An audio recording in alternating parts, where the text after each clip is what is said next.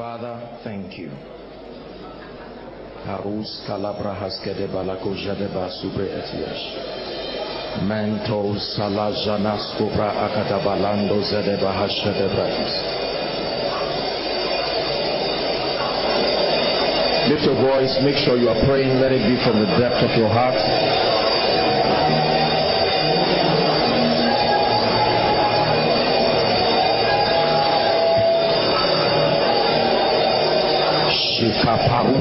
Da.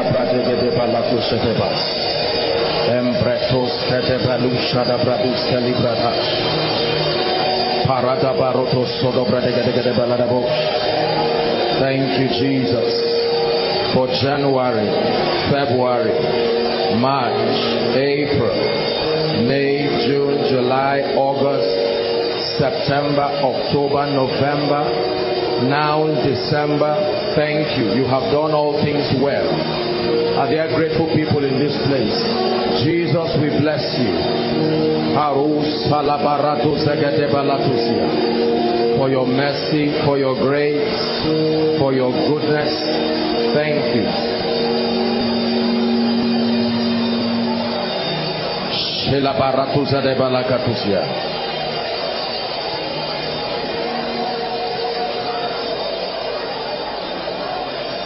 Hallelujah. Father, we're gathered tonight to say thank you. We're gathered tonight to declare that we love you. We're gathered tonight to enthrone Jesus. For the things you have done, for the battles you have won. Only you are worthy magnify your name. For the things you have done, for the battles you have won. Only you are worthy of our praise. We magnify your name. One more time, everyone.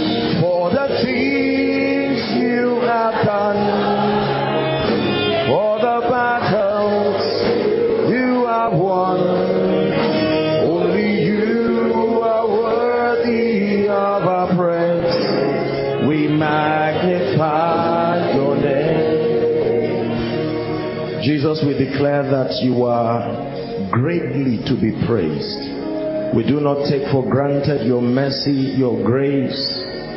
We do not take for granted the testimonies, the transformation, salvation, revival.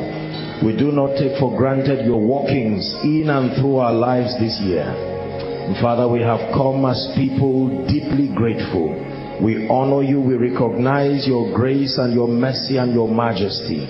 Let the name of the Lord be glorified. From the rising of the sun even to the going down of the same, we declare, let the nations praise you. And we join the people, so God, to praise you and to declare that forever you are God. You have done all things well, and to Jesus be all the praise. Amen and amen. Please walk to two or three people, celebrate them from the depth of your heart, tell them something nice.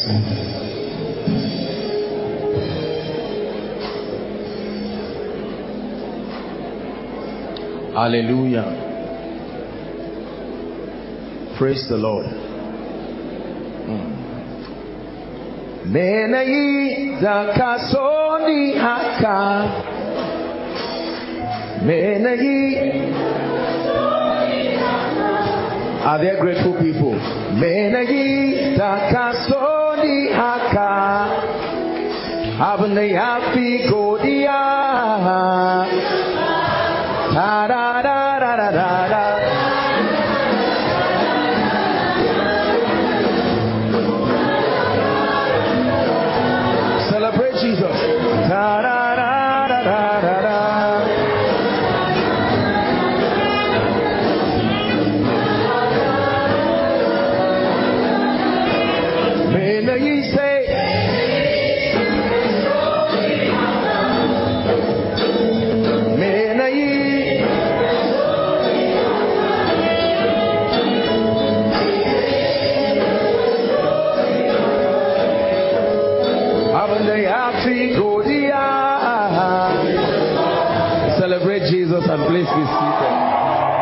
Hallelujah. Amen. Um, Psalm 50 verse 5, the last function before we get to the word tonight. The Bible says, Gather unto me my saints, they that have made a covenant with me by sacrifice. Now, it's a culture in this ministry that um, at the closing of the meeting, we provide an opportunity and we challenge people um, to sow with understanding into the ministry. Uh, there's always an end of year sacrifice, not necessarily today, all through within the time of the break, as God would lay it in the hands of people. We believe in giving, but we believe in giving that is done from a standpoint of love, non manipulative giving. And um, the Bible allows believers to be part of kingdom advance. And so this is, is very very important. Um, so we'll give this opportunity again um, not necessarily today but all through within the time of the break into January. It's our culture as a ministry. We call on all who have been blessed and um, lifted and changed transformed through this ministry to be part of this as God grants them the grace um, all sacrifices and all seeds um, will be collected in our central account. There's no proxy, there's no giving to people. I'm saying this in advance because usually when announcements are made like this, you will have all these funny people begin to arise. Um, the accounts should be displayed and will be displayed and you can have it down and as God grants you the grace, you can sit as a family, as individuals and trust God to just minister to you what you will give. Now, this is very important. Please listen very carefully. Um, the end of year sacrifice seeks to do three things. Number one, it is it is your expression of thanksgiving. It's a sacrifice of thanksgiving in recognition um, of all the things that God has done in our lives. God has been merciful. Many of us have received all kinds of breakthroughs. And so we come with that seed of sacrifice. Number two, um, it is part of your commitment towards kingdom advance. I believe that believers have a responsibility to stand to see that the purposes of God be advanced. There is no magic about what happens to the resources that believers give. It adds to the overall resources that are used for kingdom advance. And so it's always an opportunity for believers to sow knowing that for every soul that is saved, life transformed, and every contribution towards kingdom advance, it is recognized in heaven. Number three, it is a prophetic connection um, as a way of communicating your expectations to God. I believe that with all my heart when you connect with understanding, you release your faith, believing God for that which He would do. Uh, let me tell you something. I have discovered that believers are not greedy, globally speaking. I used to think believers are greedy, but I don't believe that anymore. The problem usually is the integrity with the management of the resources of the kingdom. When people sow seeds, when they commit resources and you know people divert seeds that are meant for kingdom activities into personal um, uh, you know personal gains and all of that this is usually where people are discouraged to give and all of that but i believe that people always give and will give when it is number one non-manipulative non-manipulative Giving from the standpoint of manipulation, I tell you, it's a waste of time because there is no reward for you. Praise the Lord. Giving under threat to give, otherwise this it's it's not it's not manip- it's a manipulative kind of giving. There's no blessing. The Bible says, if there be first a willing heart, a willing mind. Are we together? So it is important by God's grace, we're people of integrity, uh, even as a ministry all of the blessings of God you see upon my life and upon our lives have come as products of a thorough understanding of the systems, the financial systems of the kingdom, alongside the grace to appropriate the keys that should be to make for the blessings of the Lord upon our lives. You can prosper with the dignity of kingdom integrity and um, and with honor. And this is what you see. If there is anything at all that looks like the blessing of God upon our lives, it is credited to the intelligence of the ways of God that makes for that possibility. Praise the Lord. Hallelujah. So please, um, we're challenging and calling on everyone, businesses, individuals, our friends, partners, sons, daughters, ministries, all around the world who follow us sincerely as the Lord grants you grace. Um, do well to support, do well to give. Please understand that what you are doing is not a donation. What you are doing is a connection with understanding.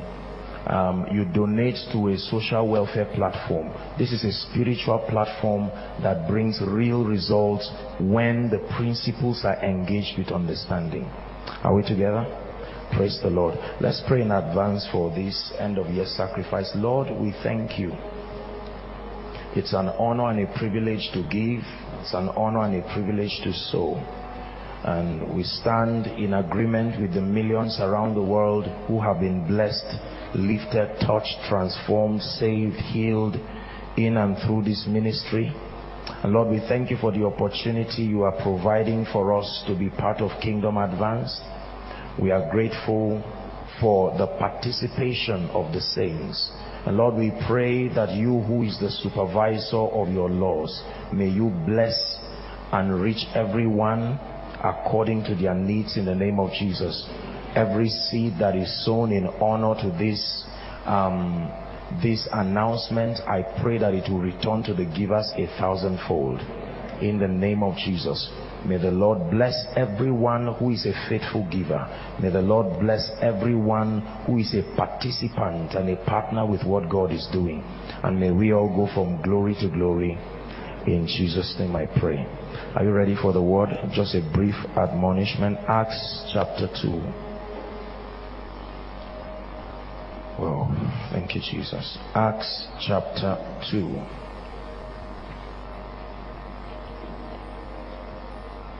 We'll start from verse 36. The Lord put this in my heart, and tonight's teaching will really, really bless you. It's an admonishment, but it will bless us. Acts chapter 2, from verse 36. This, this is, this is Apostle Peter um, at the upper room. Now, this is the first official salvation message after the Holy Ghost came. Therefore, let all the house of Israel, please follow carefully, know assuredly that God hath made the same Jesus, whom ye have crucified, both Lord and Christ. 37. Now when they heard this, they were pricked in their heart and said unto Peter and the rest of the apostles, Men and brethren, what shall we do? Peter is responding now, 38. Then Peter said to them, Repent and be baptized, every one of you, in the name of Jesus Christ for the remission of your sins, and ye shall receive the gift of the Holy Spirit. 39 is where my message is coming from. For the promise, let's read together. For the promise is unto you and to your children and to all that are far off, even as many as the Lord our God shall call. One more time. Uh huh.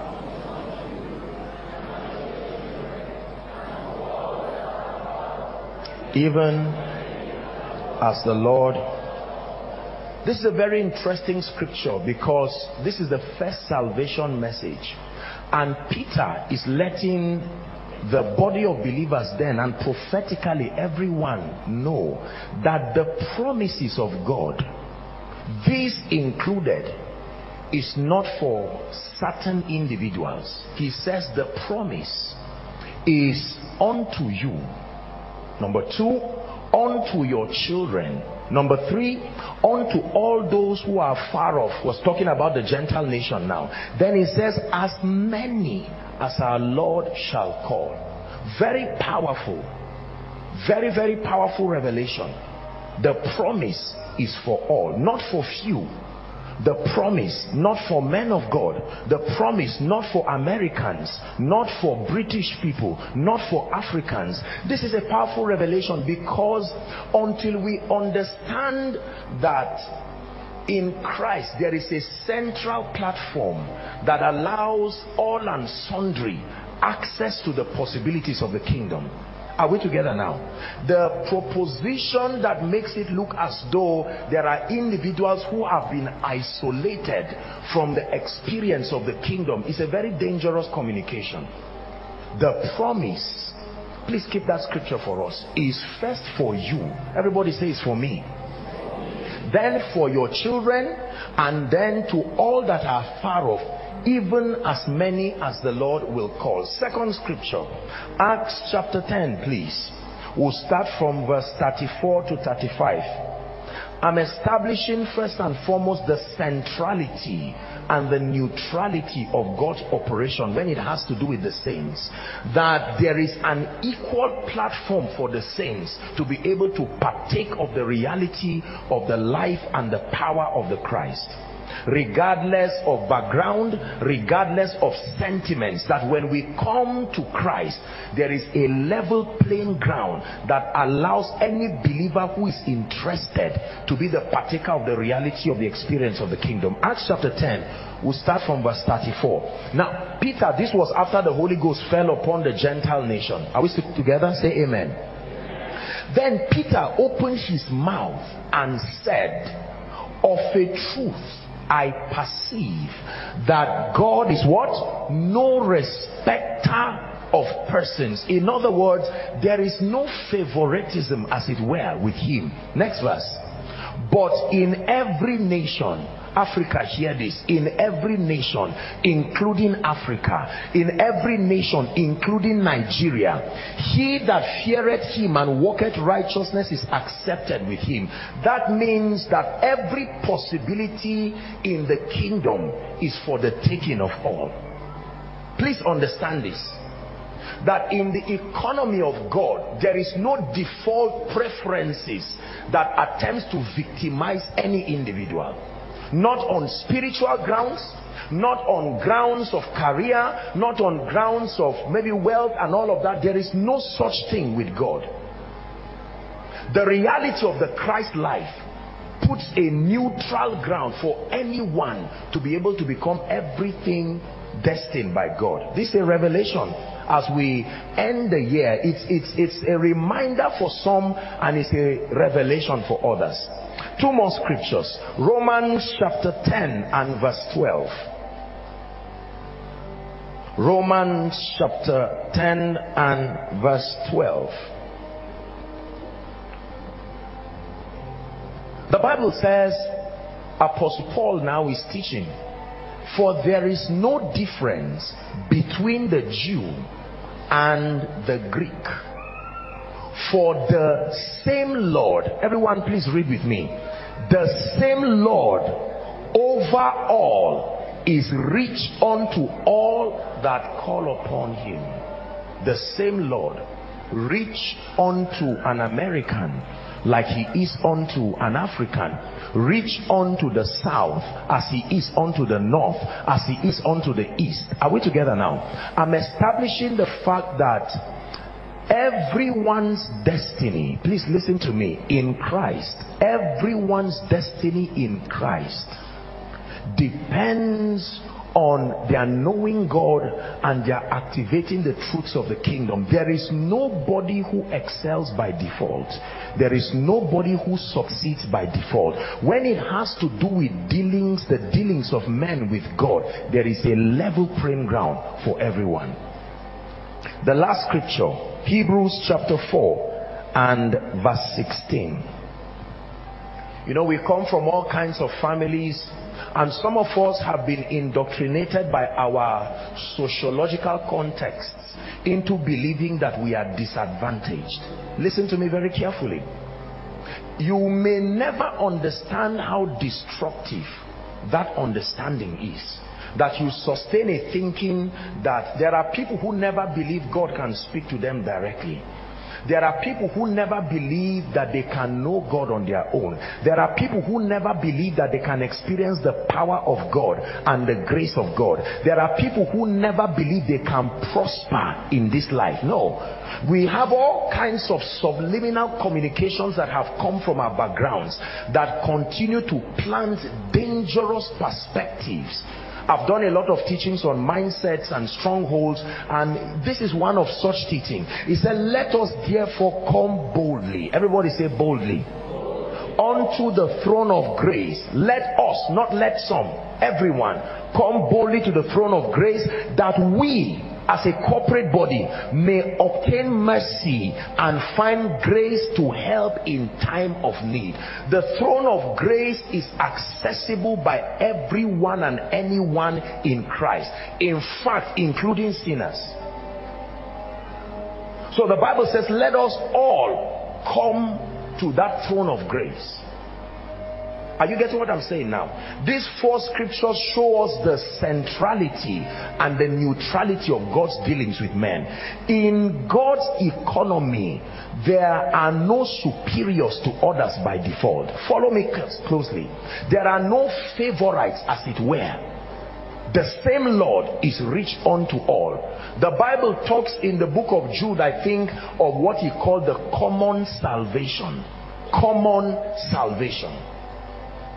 There's no special blood that speaks for Joshua Selman or speaks for the the uh, what the president of any nation. No, it is the same blood that was shed for everyone.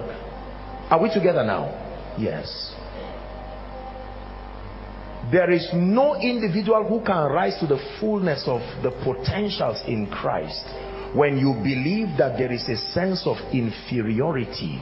In fact, this is Kenyon's definition of righteousness. He defines it as the ability to stand in the Father's presence without a sense of guilt, inferiority, and then condemnation. The key word there is inferiority that when I stand before God and you stand before God, based on that which has been provided for by the Christ, we stand from the same platform.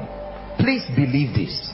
Now, it is true that culturally speaking, if you are born by a millionaire, you are not necessarily the same sociologically speaking with someone who was born somewhere in the village are we together? There is an economic advantage. If you are born in a nation where the government, for instance, is more strategic in nation building, you already have an environment.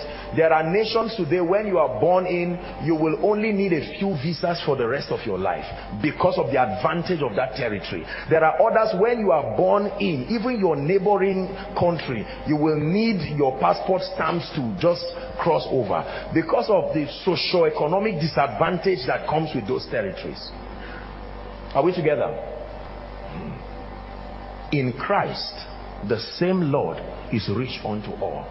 So when I stand and I see God doing mighty things with Benny Hinn, when I stand and I see God doing mighty things with the millionaires and billionaires, when I stand and I see God doing great things with men of God, I am inspired but not inspired to the point where you will now rate yourself as second class.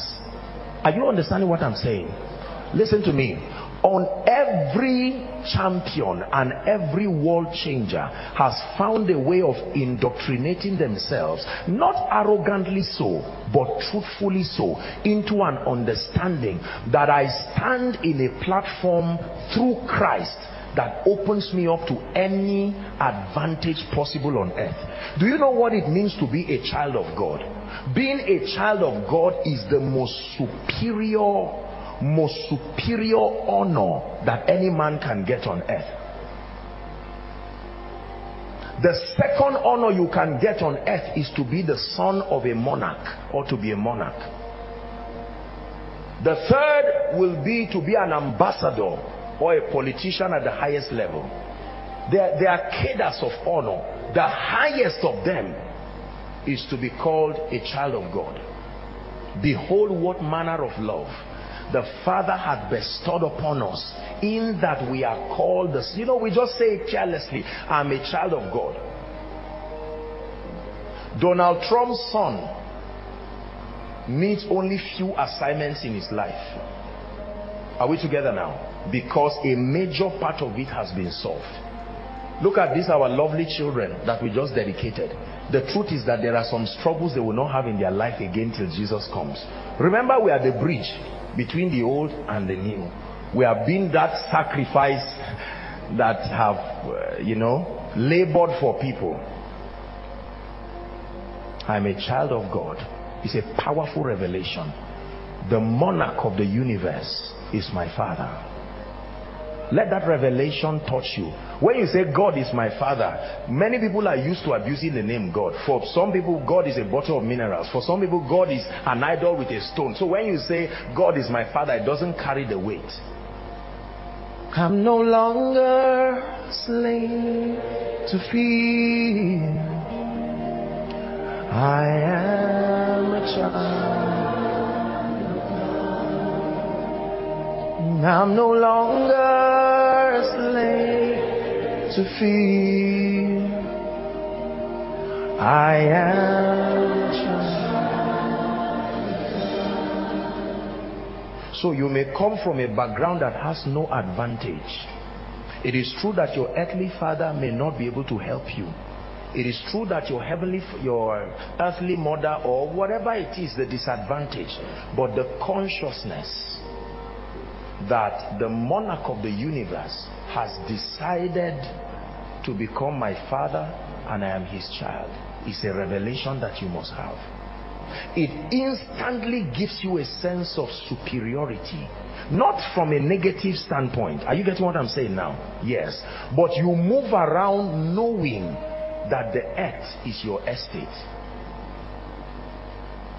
when I travel to any region, I expect the same thing to happen, regardless of location, because I am still within the domain of my Father.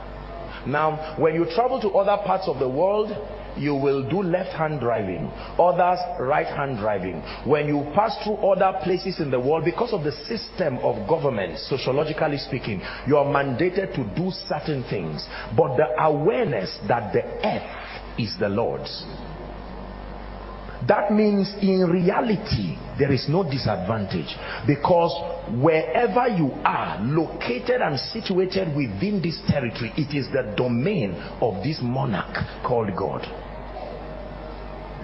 Are we together now? Very powerful. So the Bible says that we come boldly. This is the first thing I want to establish. The promises of God. Not just the promise of the Holy Spirit. The promises of God that are written in scripture the promises to prosper, the promises to heal, the promises to lift, the promises to bless. Listen, the promise of influence, like God spoke to us, Genesis 17 and verse 6, I will make you exceeding fruitful, he said, and that kings will come out of your loins, nations will come out of you.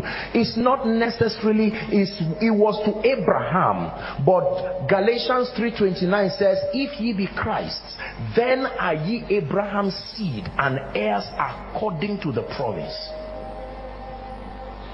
Everybody is a spiritual Jew in Christ.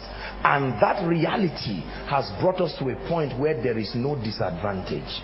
I pray that God will help you understand what I've said. It is not our background. No. It is not our sociological context. It is an understanding of the neutrality, the centrality. So understand this tonight, even as we prepare to live and travel to different regions. There is nobody called by God to a life of failure. Bishop Oyedepo said, every calling in Christ is a high calling. Everybody say a high calling. Yes. There are no low callings in Christ. Nobody is called to a life of failure, mediocrity, defeat. No. We are called to a life of excellence. We are called to a life of grace. We are called to a life of influence. We are called to a life where the Bible says that through the church, the manifold, many-sided wisdom of God will be displayed to principalities and powers. If you're with me, please say amen. Now, but strangely so, and I want to pay attention now. The Bible seemed to be very open about individuals that God decided to carve out a name for. And I want to show you the secrets so that we can tap into this grace and into this possibility. The first is in Genesis chapter 18 from verse 17 to 19. God seems to talk to Abraham in a strange way. And the Bible records that Abraham was called the friend of God. Not many people in life are ever called the friend of God. We're reading from verse 17 down to 19. This will bless you. Look at me. It says, And the Lord said, Look up, please.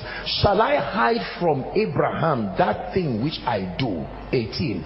Seeing that Abraham shall surely become a great and mighty nation and that and all the nations of the earth shall be blessed in him. Is a question. 19 for i know him. Mm that he will command his children and his household after him and they shall keep the way of the Lord to do justice and judgment that the Lord may bring upon Abraham that which he had spoken of him.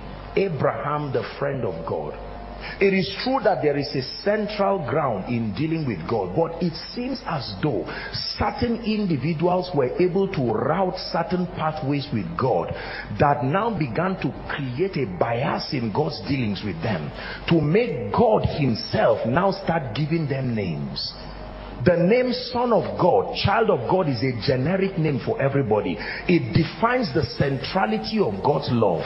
But that certain individuals went a step further with God and they started earning for themselves titles that represented special attentions, titles that represented certain covenants. So from that neutral standpoint, you can start growing yourself into specific possibilities with God. Are you getting what I'm teaching tonight? So for Abraham, he became the friend of God. And John chapter 15, please. 15 and 16 very powerful scripture. John 15 he said you have not chosen me. Look up. But i have chosen you and ordained you that you should go and bring forth fruit. He's talking about fruitfulness. And that your fruit should remain. And whatsoever ye shall ask of the father in my name he may give it to you. Next verse. It says these things no no go to verse 16 Oh dear. Did I miss something? Yes, 15. Let's start from 15. 15 and then 16 and 17. Henceforth, that's what I'm looking for. I call you not servants. Now, it's not an insult to be called a servant of God. A servant of God is not a slave. A servant of God is one who has submitted himself to serve the purposes of God. I know sometimes we say servant, I'm not a servant. If you mean that contrasting sonship, you are right. But you will understand as you grow with God that the hallmark of sonship is servanthood. Are we together? So to be called a servant of God is not an insult we are bond servants. Paul uses the word bond slaves but not unto servitude in a negative way. Henceforth i call you not servants okay? For the servant. Now look at this. This is oh dear oh dear. May god open our eyes to see. In the name of jesus. Notice the proof of servant is ignorance of certain information. Knowledge. It says for a servant knoweth not what the Lord doeth. It says, but I have called you friends. What is the advantage of friendship? For all things that I have heard of my father, I have made known to you. The advantage of friendship with God is the privilege of access to spiritual knowledge you know you are a friend of God to the degree to which he bends over backwards to open you up to the mysteries of the kingdom the truths of the kingdom. The bible calls them the secret things of God. This one is not for everybody. Is God helping us tonight?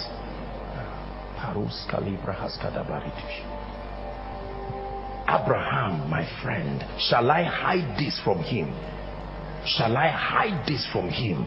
A servant does not know. He may obey religiously without knowing. but a friend is privy to information. God is about to do certain things and he said, no, Abraham is my friend. This is powerful. So God calls Abraham his friend.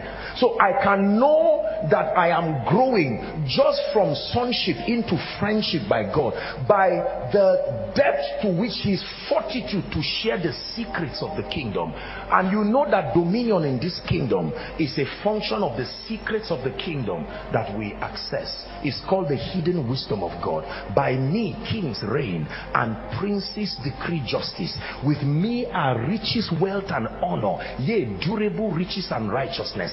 They that love me and seek me early will find me.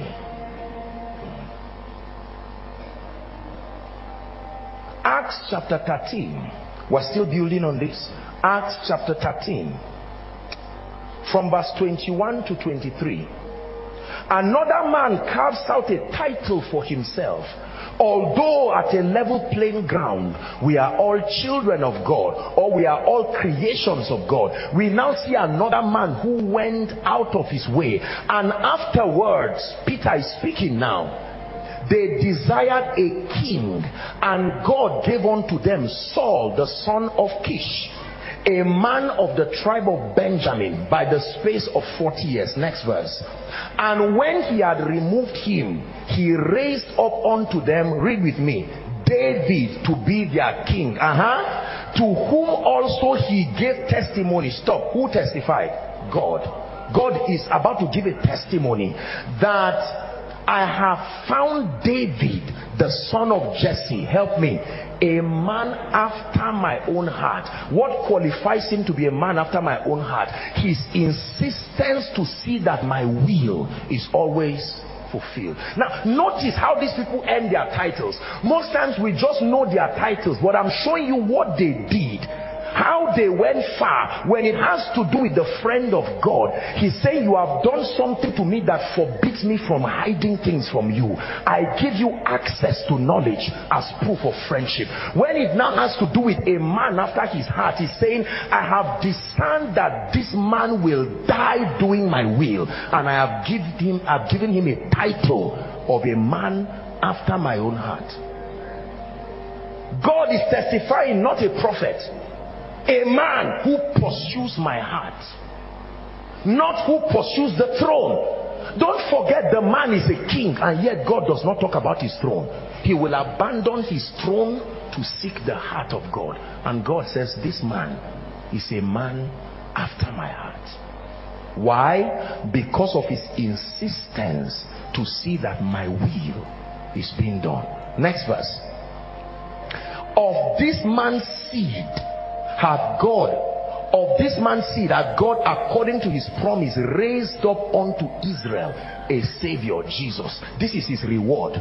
For being a man after God's heart God insisted that your seed must participate in the lineage that will bring David was not the only man after the order of you know God and all of that but he is he is called the seed of David thou son of David, not thou son of Rahab, not thou son of Boaz, not thou son of Naomi. They all played their roles, but out of those people, God selected one man to become, to personify his passion towards a man. Are you learning something tonight? A man after my heart, a friend of God this is a very powerful revelation. Now, let me share with you something very, very powerful. Um, and, and, and this is where I think and I believe that many believers are not properly mentored. And as we go on break, it's important to remind and re-emphasize this that in the dealings of God, man will always have a role to play in actualizing prophecy. Please listen carefully. That the systems of God work twofold. One, the dimensions that are finished from God's standpoint. And then number two, through the experience of alignment and obedience, we make manifest that which has been finished in our lives. Philippians chapter 2 and verse 12. Philippians chapter 2 and verse 12. It says, Wherefore, Paul is admonishing the church in Philippi. Wherefore, my beloved, as ye have always obeyed, not as in my presence only, but now much more in my absence. Hear what he says. Walk out your own, not your neighbor, not your child, not your wife, not your husband. Walk out your own salvation and give it a level of diligence with fear and trembling. Walk out your own prosperity. Walk out your own intimacy with the Holy Spirit work out your own. Ensure that you press into God so much that he's forced to find a name for you. He calls Abraham a friend of God. He calls Jacob the one. He names it after a generation of intimacy. And he's saying listen you have a responsibility to press until until you give him no rest the Bible says until he establishes Jerusalem. There is a way you can wear God out if I can use that word through your passion and your intimacy intimacy he will brand his relationship with you and give it a name that defines his unique attention towards you. Work out your own salvation you will read about prosperity and never enter into it.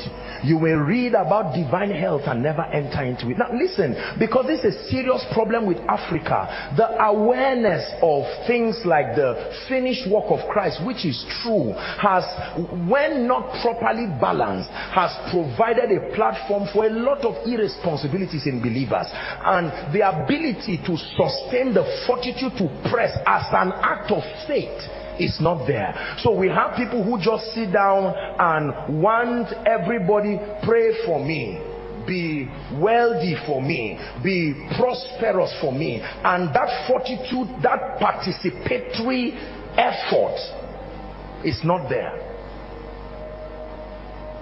Are we together now so many people want to know the Holy Spirit and they think the key to knowing the Holy Spirit is to receive an impartation from a man who knows the Holy Spirit. What you are going to receive from that impartation is a ladder, a ladder that you will climb. Hello? A ladder that you what? You will climb it through your prayer you will climb it through your relationship you will climb it through the sacrifice of the instructions God will give you that is not for everybody it's for only you you are about to eat and God says, turn the plate upside down. You are fasting for one week. He said, God, is it for everybody? He said, no, it's for only you. He said, God, why me? I mean, scripture. He says, I thought you want a name. A name that defines the extent of my intimacy with you.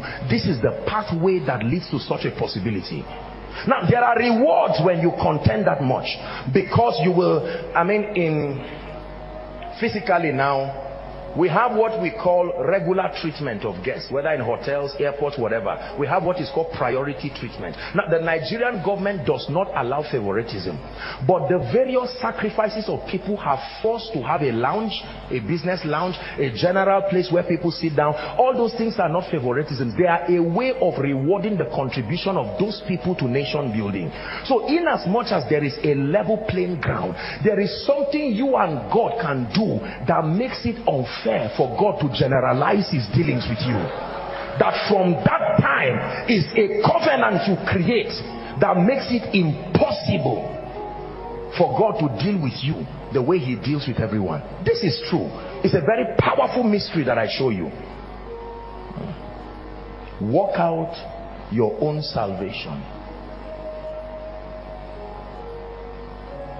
Thou shalt remember the Lord thy God. It is he that gives you the power to get well. A lot of believers start jumping. In the name of Jesus, I will never be poor. You are getting poor. You are seeing it. God is, your poverty is a report card. God is telling you you are missing something. I will never be poor. I'm not being sarcastic. And you find out that a lot of people, and then here and there, we just browse through the laws.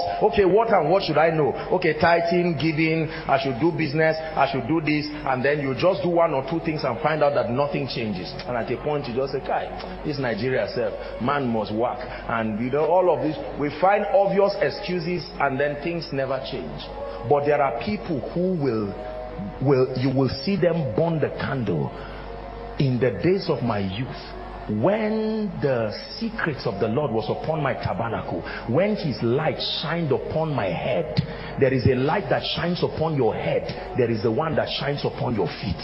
The one that shines upon your head gives you illumination. It says there is a spirit in man. If you only have the light that shines on your feet, you will keep walking. But let me tell you the truth, you will need the one that grants you access to knowledge. Are, are you getting what I'm teaching you now? Yes. Hmm. Walk out your own salvation. Any ministry that grows is worked at. You know, a lot of people sometimes, respectfully, people see me and say, wow, Apostle, God is doing mighty things in your life. And I say, yes, he is, and I, I really thank him. And, ah, you are anointed, though. And, you know, sometimes I'm tempted to say, I, I hear you are carrying the anointing of the generals. And I'm tempted to say, are they my relatives? How did that happen? You see, this, this is the question we need to ask.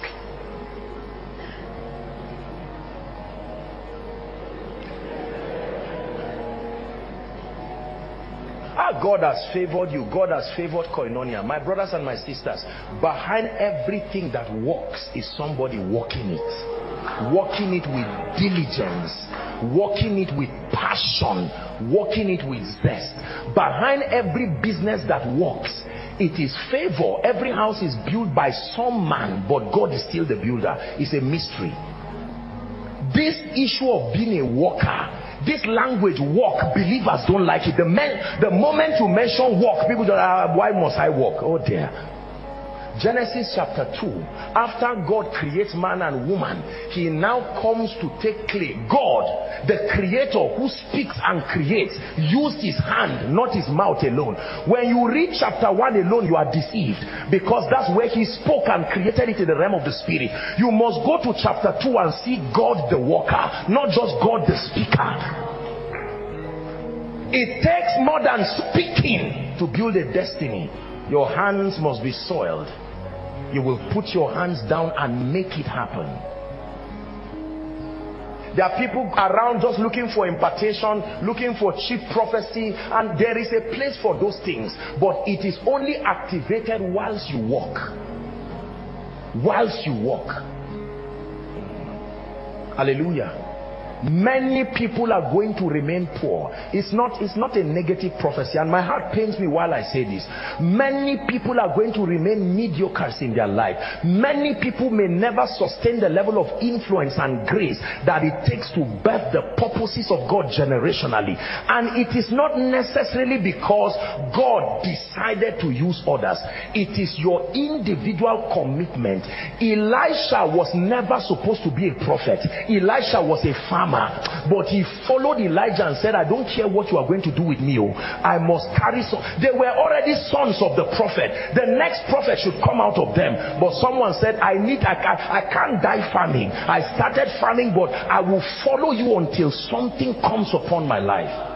We define our realities by the unashamedness to pursue the keys of the kingdom until something comes from heaven to your life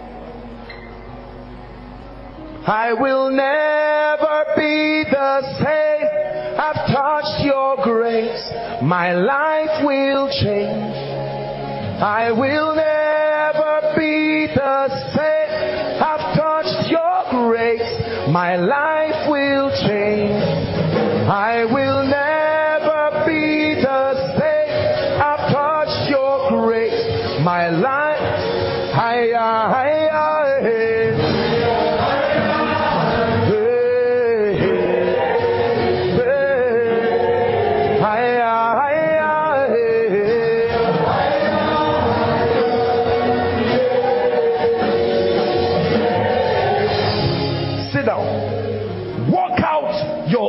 Finances with fear and trembling.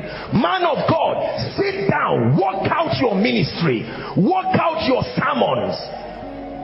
Don't just wait for an impartation that will teach you verses. Open your Bible, mark them, write them down. When others are sleeping, wake up. There is the labor dimension of greatness. No impartation will replace it. You don't sit down and casually fast yourself the way you like into uncommon anointings. You are joking. You pray once in a while when you want. One hour per year, two hours per year. No. Buy the books. Read your way to excellence. Use your diligence to create a space for yourself in destiny. My life will change. Eh, my life must change my life will change. Yeah. My life will change. I will never be the same. I've touched His grace. My life must change. I will My life will change. My life will change. My life must change. My life will change.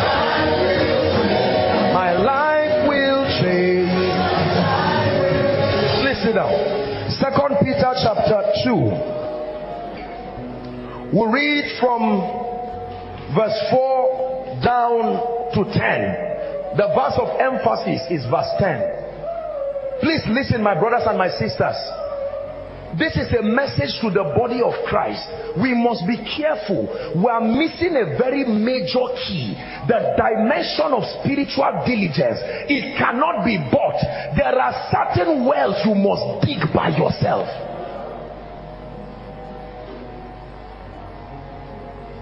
Africa likes prophecy. We like impartation. We like to receive. But there are wells that must be dug. There are there are fountains that must be broken. It's a sacrifice. The price is death. Are we together?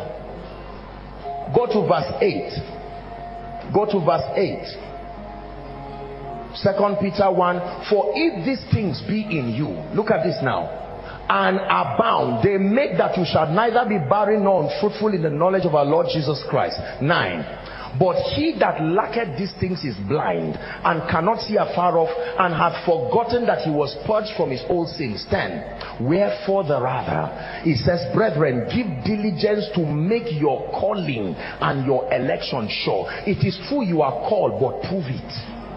It is true you are called, but give the level of diligence that makes your calling and your election sure. It is true you are a prophet, but prove it. It is true you are an apostle, but prove it. It is true that God has raised you to be a voice, but obtain grace to prove it.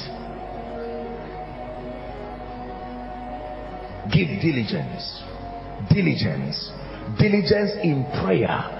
Diligence in the study of the word. Diligence in the sacrifice of compliance. Listen let me tell you real success is not at a platter of gold at any level. Whether it is spiritual success whether it is financial success whether it is grace and influence it is a sacrifice of continual press.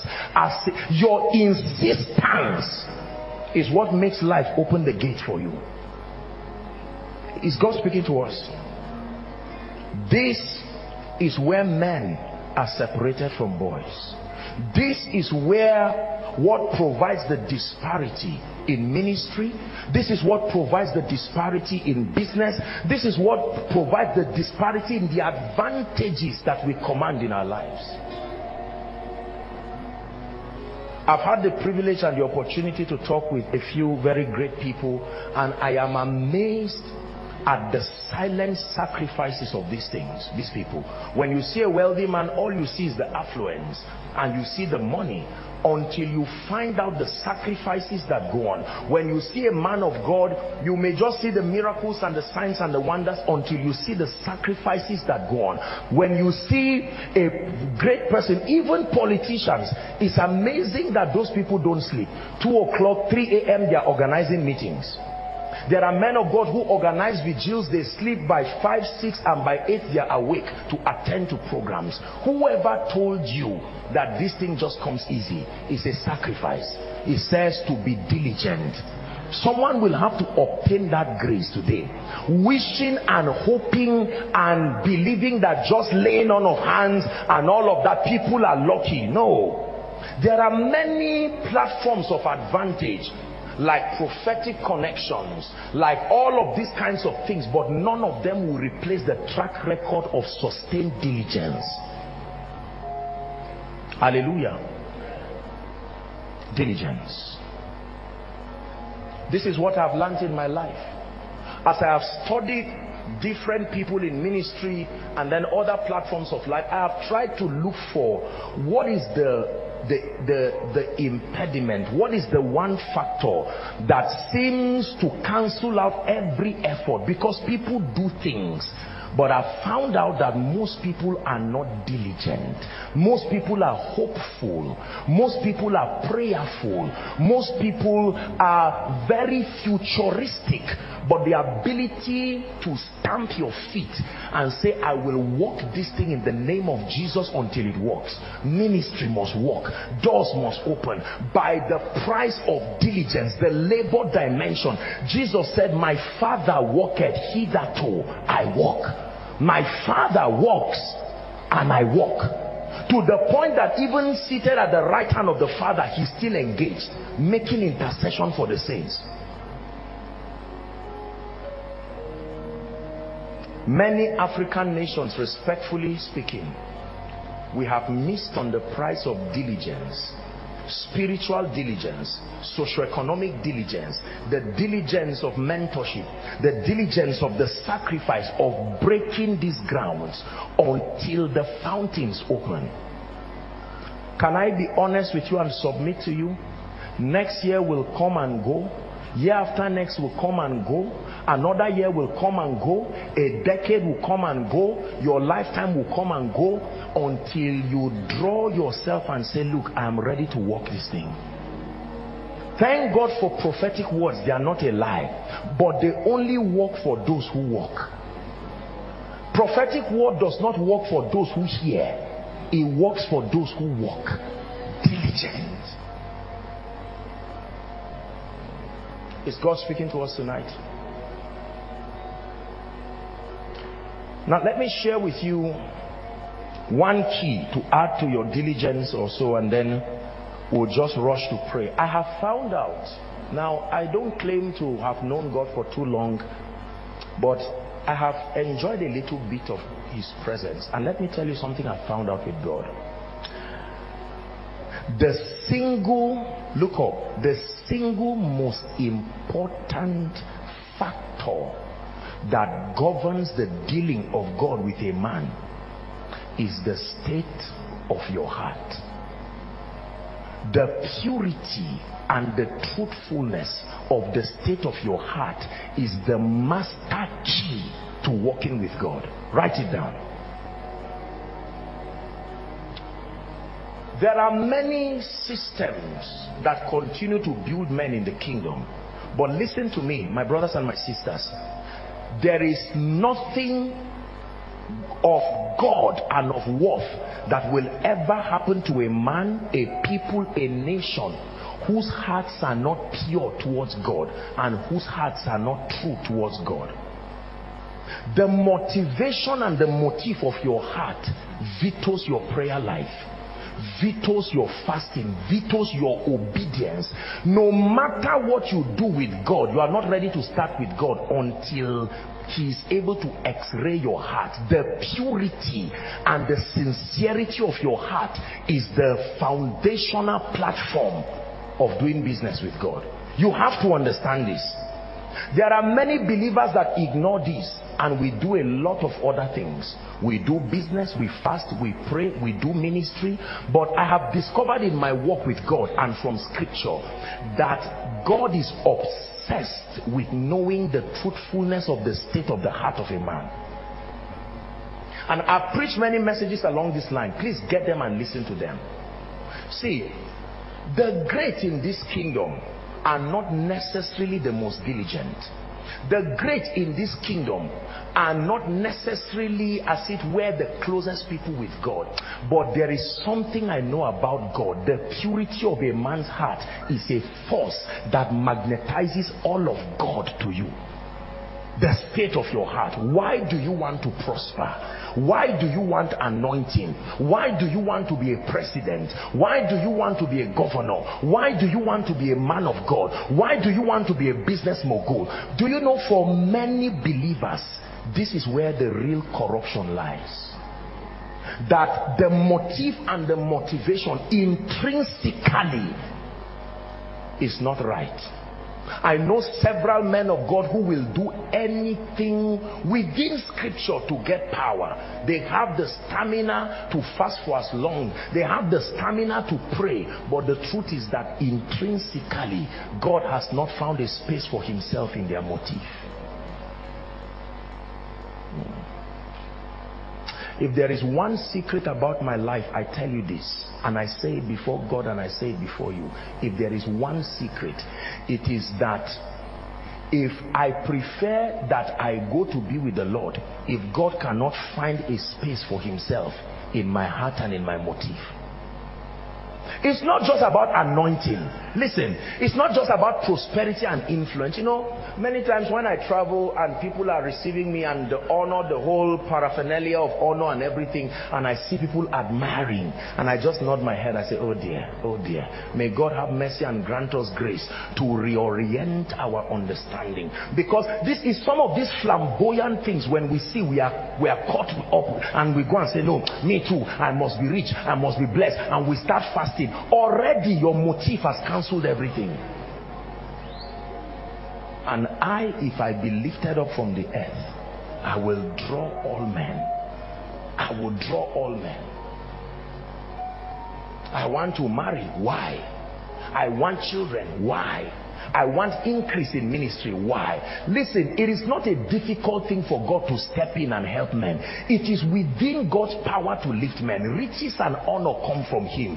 The influence and the power and the grace comes from Him. The problem is the state of our hearts. The greatest prayer, therefore, is not even intercession for souls. The greatest prayer is not binding witches and wizards.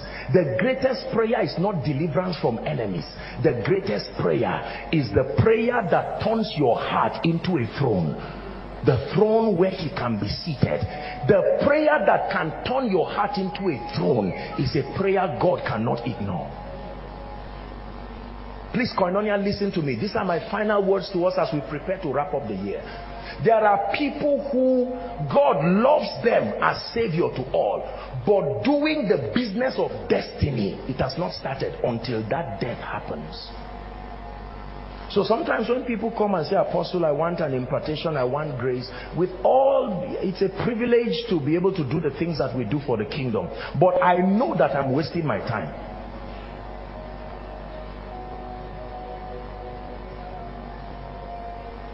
I've read books on wealth and prosperity. I've read books on church growth. I've read books on influence, territorial dominion. At a point in time, I had to appreciate the books, but I closed them. I said, Lord, there must be a secret. And that's when he told me that the price for all of me is all of you. The price for all of me is not all of your brain. The price for all of me is not all of your singing. The price for all of me is not all of your worship. The price for all of me is all of you. Is God speaking to us? All of you. All of you. All of you. Now, let me tell you this. It is not unusual for a generation to not believe you. So don't think it is strange. My loved ones don't believe me. You are not the first. It is all right. A generation does not believe me. Nothing is believable till the results speak. Please understand this. But that price of death continues to be. And you see, the thing with death is you don't die once. It's Jesus that died once. The saints die every day. Hello?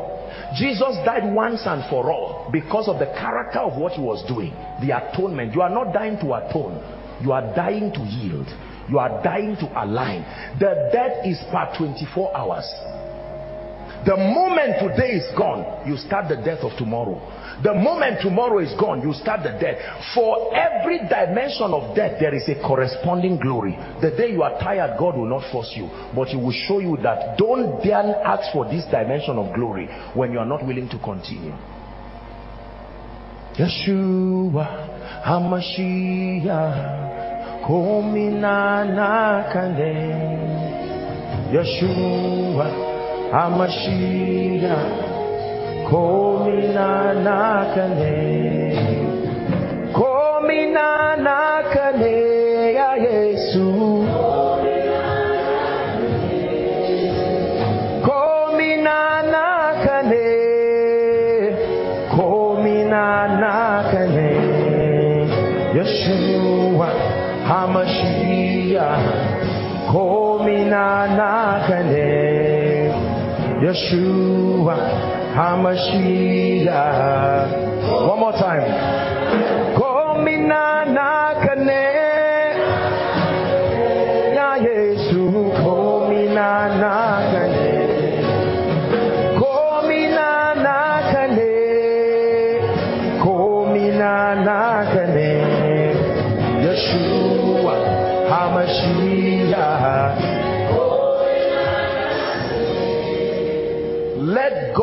Find a dead vessel and you see the possibilities that can come out. Show me a man who has vowed to continue to die. I show you a glory that excels. Show me a people that continue to die. Our generation does not like the language of death because every time we talk of death it spells inconvenience. It spells discomfort. It spells going out of it means that sometimes God will strip you of everything you is a price for the glory. No matter how much impartation is a price for the glory. You are not just going to lay hands on the sick and say in jesus name stand up. I'm a member of koinonia. You are right. But let me tell you when it comes to the depth of the dealings of god generationally you will need to die generationally. Are you hearing what i'm saying now? Please listen very carefully. There are people that god will give you instructions empty your account. There are people God will tell you 80% of all your wealth for the next two years keep giving it. You say Lord why? He said because you said you want to be a kingdom financier. Because I said I, I thought I should have. He says I want to give you a revelation of the receipt that scattered and yet increased. You are you know it as a memory verse but I'm leading you through a pathway that makes it an experience for you Lord, I want you to anoint me. Grant me the grace that speaks across territories. And he says, you really want that? Yes, God, let's go. And you start the journey. And for starters, he says, give everything you have in your life.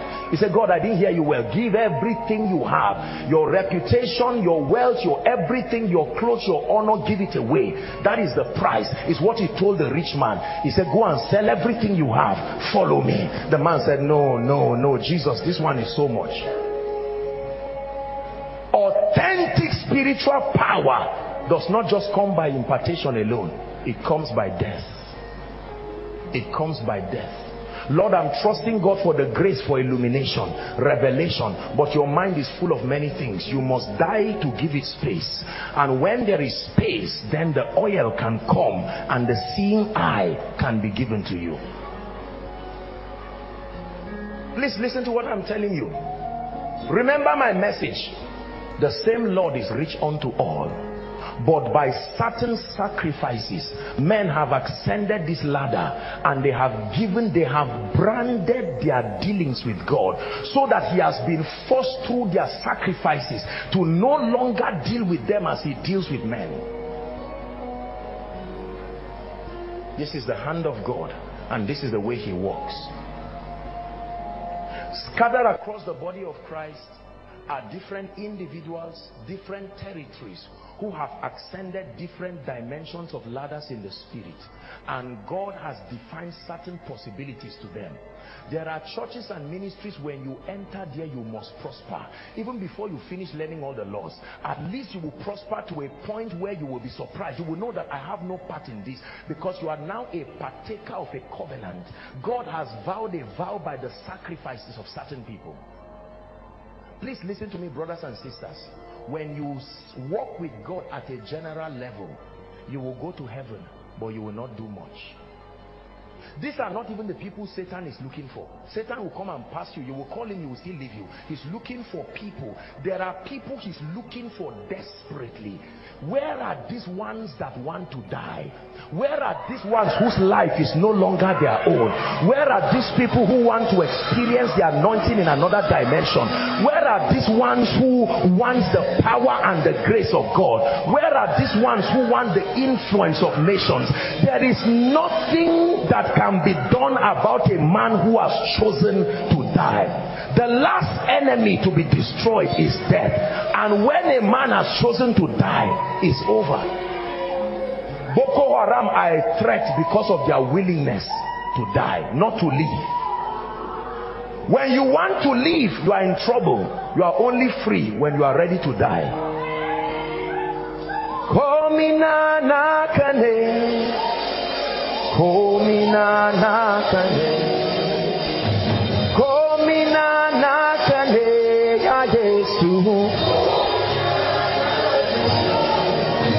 Yeshua HaMashiach.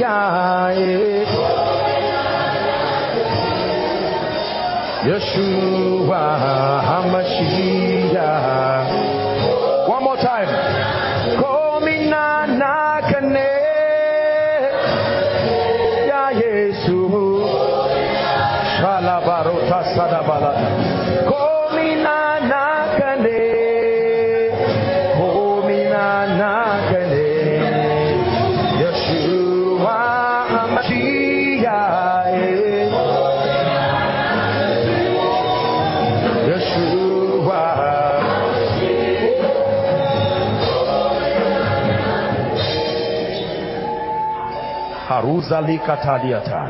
I have been crucified with Christ.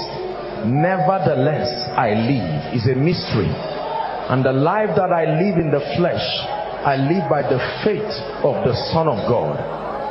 That whatever it will cost me to die, I will die. Not for the sake of ministry, not for the sake of money, not for the sake of titles that prayer to search my heart, try my thoughts, is a powerful prayer.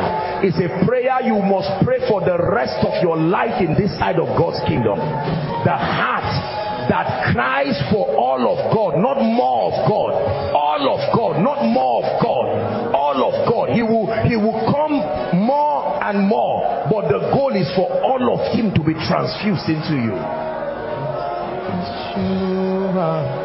The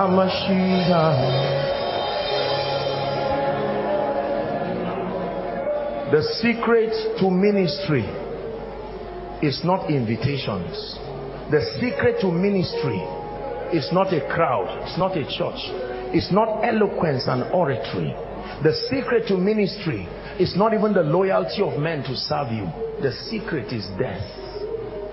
Genuine, continual death I died yesterday. You are joking. You die daily. I died last week. No, sir. You die daily.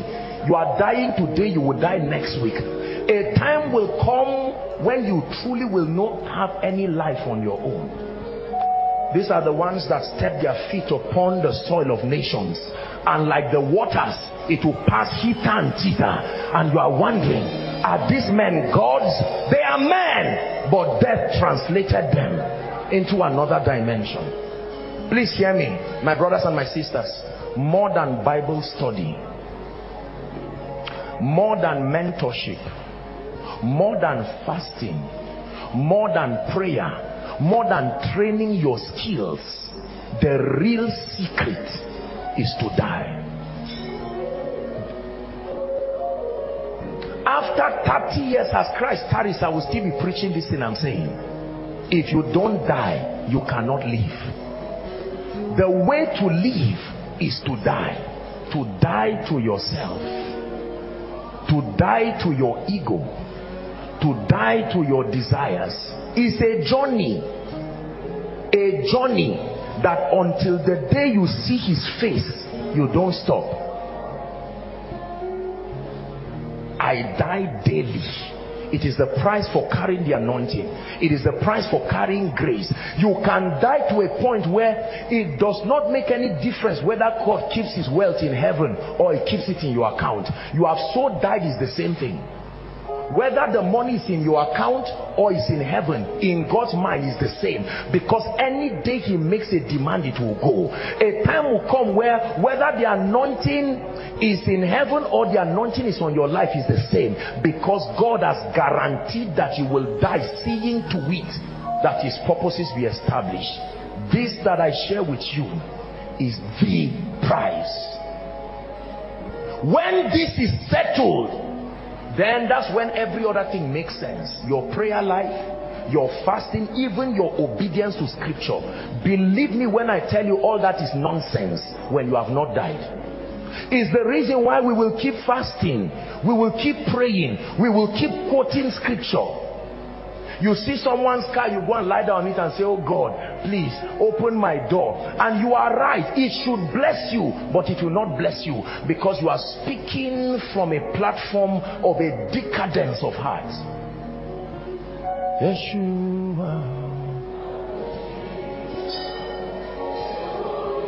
Listen, we give we give breaks in the ministry not just to allow us rest it's been a busy year for everyone. But the goal is not just to rest and catch up. We're giving you one month so that it will help you die well. Die enough to carry the glory of 2020. Die enough to carry the power of 2020. Die enough to carry the voice and the mantle of 2020. That Lord, I am dead but not dead enough to carry the next glory. Dead but not dead enough to carry the mantle, the power. Dead but not dead enough to be trusted with kingdom influence. At that point, the one week, now you are not going to go to God as a worker. You are not going to God as Apostle Joshua Selman. You are not going to God as a leader you are going to God as one who is desirous of his use. And now you can have the time to lock yourself. You can have the time to stay with God and stay till you die. While your flesh cries you say God don't pity it. Forget about the tears of my flesh. Keep the death going. Just keep the death going. The death of your ego say forget about my ego. Keep the death going Ah, my money, forget about the money. Keep the debt going. Show me that man and I show you a man to fear in this life. A man that has mastered death. I die daily, Paul said. So he got to a point where he could say, for me, oh, I don't know whether it is to go or to stay. I have conquered the interface of these limitations. But for your sake, I will stay. Let me tell you, my brothers and sisters, you've heard me say it again. There are virgin dimensions in the spirit. Compared to where God is taking us, we are only starting. And we must trust God for grace to not be complacent. The secret is to turn to God and sit down and die. The applause of men can deceive. Men can clap you and stop you from entering tomorrow this one thing I do, the Bible says, forgetting the things that are behind. You must train yourself to forget. Both success and failure can do the same thing. It can kill you. So you lay it aside and say, Lord, what is the price for the next level? And he says, death. And he said, come. Like a doctor about to perform a surgery on a patient, let it go. Let the ministration of that death continue. And you are staying with God he will tell you for the next three days, let no food enter your mouth. There is a surgery spiritually. And even the slightest meal can interrupt it. And he said, Lord, ordinarily I will want to eat. But for the joy that is before me, let me endure the cross and even despise the shame. And in the midst of that pain, suddenly you will meet an anointing. You will meet a grace. And God will tell you this anointing is what I'm releasing on earth for the next 15 years. That means whoever does not have this type of anointing cannot be featured in my program. And now that you have died enough, here you go. Pick it up. And you pick it and like like the pages of a book another dimension of you is open. And whilst you think you have exhausted you will see another dimension. They go from strength to strength. This is my message not just to go and celebrate Christmas and up and down, not just to go gisting and wasting our time. Listen, times with God are times of death. Now is not the time to go and be clapping for yourself in the secret place. It's foolishness. Great men are great because they forget their crowns. Great men are great because they forget their trophies. Great men are great because they forget their achievements. Create an immunity in your room that does not hear, let you hear the, the clappings of men. While they are clapping, you are dying. The clap increases, you are still dying. And the flesh tells you, have you not attained enough? And the Spirit of God says, you lie. Not for the mantle of a nation. Keep dying. Keep dying you will see the effulgence of the power of God in your life. And men will look at you and say, Are you a human being or you are a spirit? When you go back, God will say, Can we continue? You are back from the meeting. You some of you will go home and God will give you instructions. Organize crusades, organize little meetings. And while you are doing all of those, people will look at you and say, Ah, this koinonia. And while they are talking, you want to come back to life and the spirit to say, No, not at this point. Keep dying. The door to life is death. The door to the throne is the cross. The door to the cross. Then the grave. You must die. It is the one key I have learned in my life. Fear a man who dies. Don't fear a man who died. Now, I beseech ye, brethren, by the mercies of God that ye offer your bodies a living sacrifice unto God which is your reasonable act of worship. There are times that God does not want songs. No. There are times that God does not want prayer. There are times God does not even want dancing around. There are times God does not want reading any Bible. There are times God just wants the sacrifice of death it will rise as an incense past the second heavens where demons are. Demons don't need your death. They cannot do anything with your death. It will pass them. They can't cast it. They can't kill it. It passes straight to the throne and is received before the master. And through that death the blood that comes from your death becomes your agreement the signature you sign with God for the next five years. Lord I am still available Lord, don't replace me with a stone. Lord, I am still there. You have options, but incorporate me in your program. Are you ready to pray?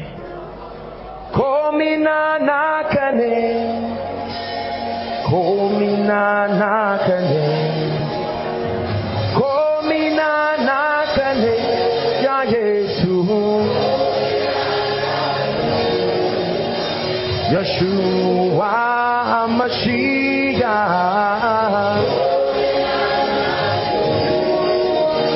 Yeshua.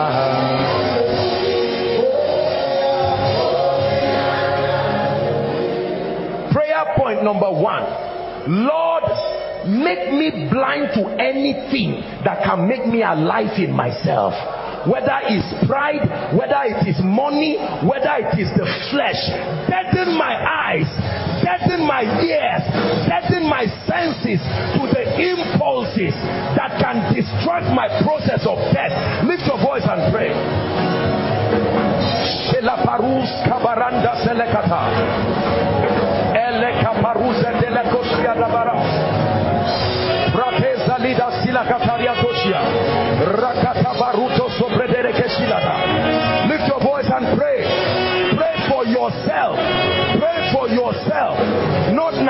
Not your family.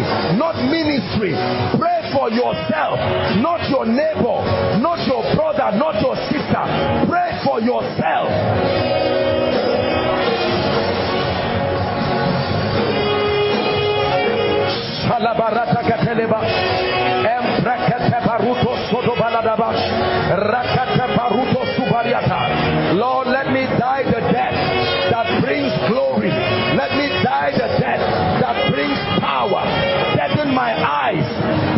My ears to the impulses of distraction. Deaden my eyes, deaden my ears to the applauds of men, deaden my eyes, deaden my ears to the flattery of men,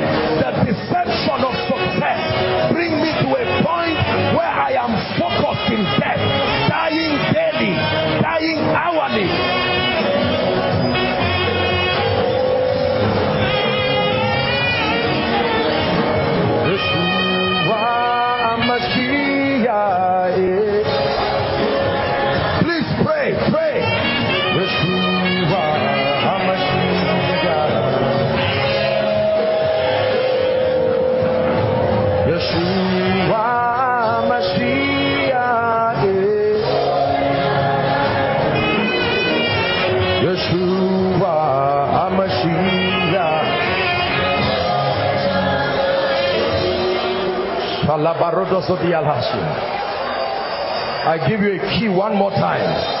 For those who did not hold it this year, you should hold it before you go home.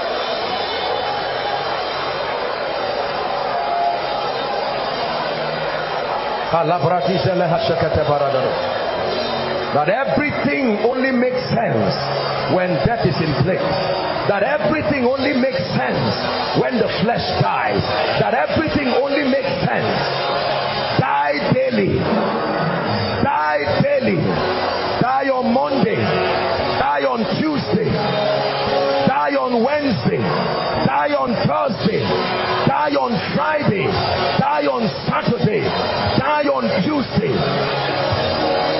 It is not physical death. It is death to the flesh. Stay on the journey. And stamina. The stamina to continue. The stamina to press until you press to strange dimensions of anointing, strange dimensions of graces. Die until God swears a vow upon your life. Die until the character of the Spirit is continually formed in you. Die until you are dead that all of you is replaced by all of him.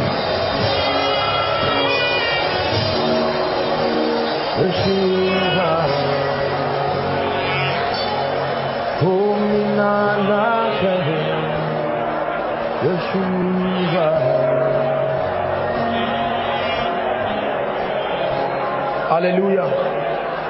Hallelujah. We're going to pray a very serious prayer. Oh God, purge my motives.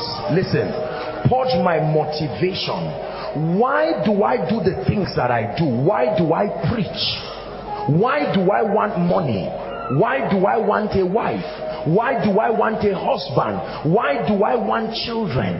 Why do I want influence? Why do I want my voice to be heard generationally? What is the intrinsic motivation? We are about to pray and let the light of God, the double-edged sword, penetrate, dividing the soul and spirit, and let it discern the thoughts and the intents of your heart. Don't be ashamed what you find there. Don't be embarrassed by it. That's what his presence is for. That's what the sword is for. But lift your voice. Purge my motive. Purge my motivation. The psalmist said, Touch my heart, try my thoughts, and see if there's any evil way in me. Then he says, Lead me to the way everlasting. Koinonia, pray in this final service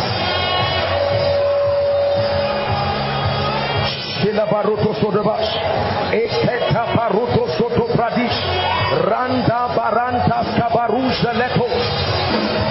Why do I want influence? Why do I want prosperity? Why do I want a voice? Why do I want the anointing? Why do I want the prophetic? Why do I want the healing grace? Why do I want access to the hearts of a generation? Pray and cry before God. Pray. Break my pride. Pray. Break my ego.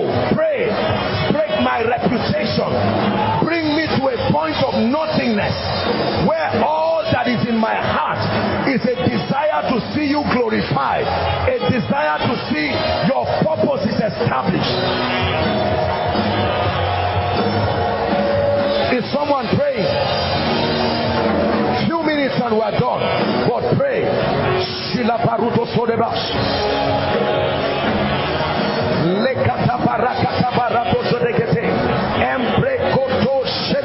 The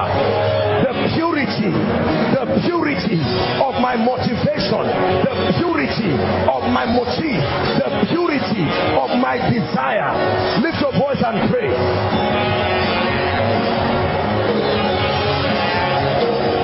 This is the process that makes you become a friend of God. This is the process that makes you become an icon for a generation.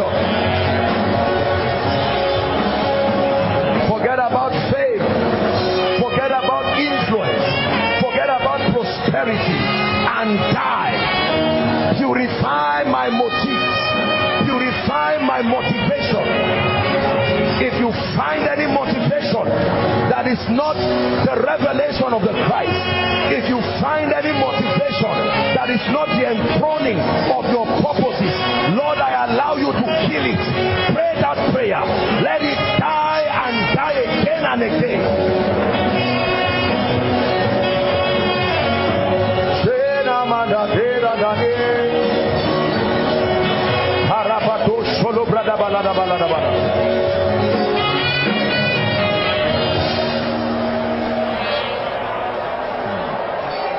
Listen. Hallelujah. We're rounding up, but listen, let me tell you this. Happy is a man. See, you see, Ba, outside of this journey, we are not worth much. We are very small. It is the excellency of this journey that makes you heavy. That's where the word glory comes from. Kabod, doxa. The weightiness of God upon a man the mighty God upon a man doing wonders. The treasure that comes from heaven to turn a man around so that your life becomes an effulgence, pages of wonders, ever increasing wonders. We're going to pray the last point and we're done. Father, the next dimension of my life and my destiny, whatever price it will take to step into it, I obtain grace. The Bible says we should obtain grace. This grace is obtained. It is not assumed. It is obtained. Lift your voice and begin to pray. The next dimension. The next dimension of my prosperity. What is the price, oh God? the next dimension of ministry. What is the price? The next dimension of influence. You are praying now preparing for 2020 is someone praying thank god for the 2019 thank god for that which was done. For lord i set my face like a flint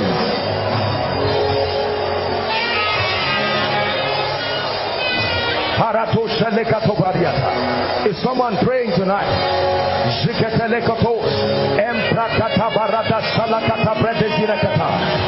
What is the price for the anointing of 2020? What is the price for the influence of 2020? What is the price for the impact of 2020? What is the price for the speed of 2020?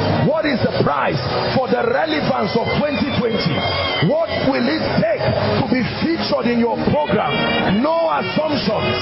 No assumptions. I obtain grace. I obtain grace. I obtain grace to be featured in your program. Come 2020. I obtain grace to remain relevant in the scheme of things.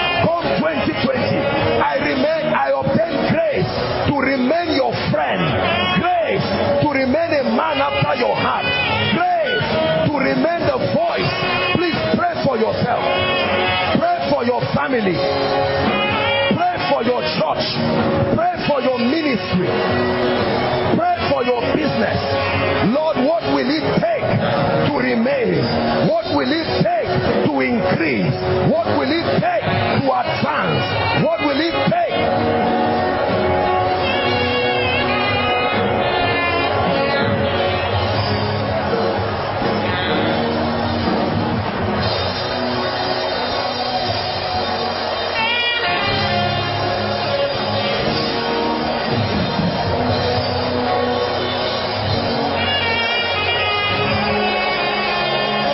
Hallelujah.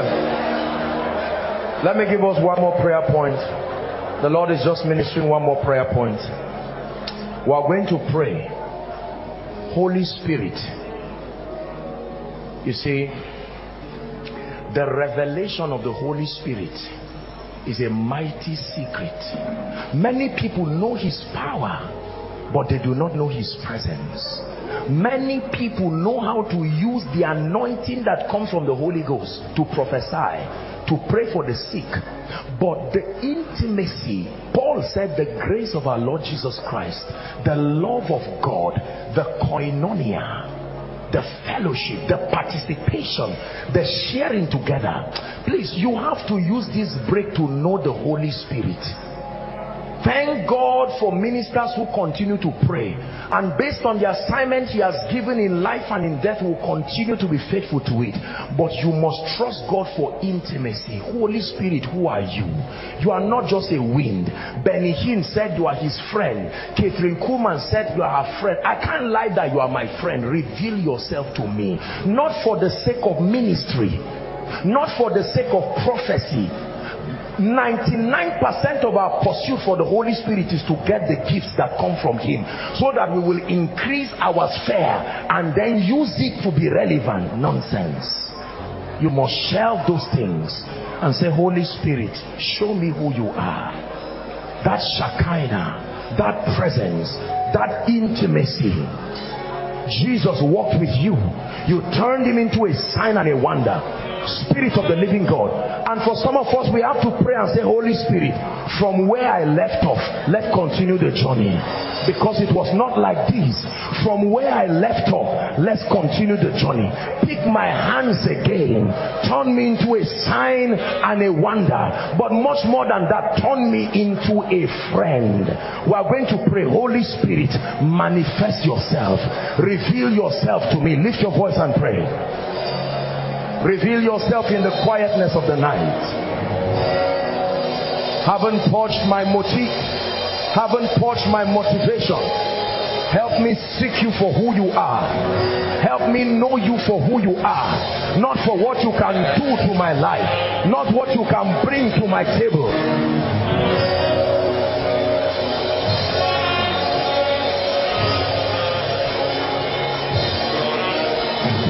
My life never remain the same.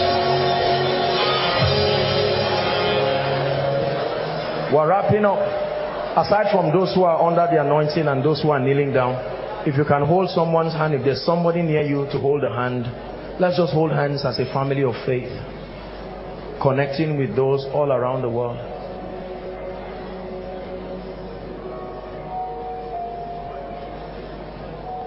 We will never be the same. We've touched your grace. Our lives will change. We can never be the same. Not with your grace. Our lives must change. Our lives will change. Our lives will change. Our hearts must change.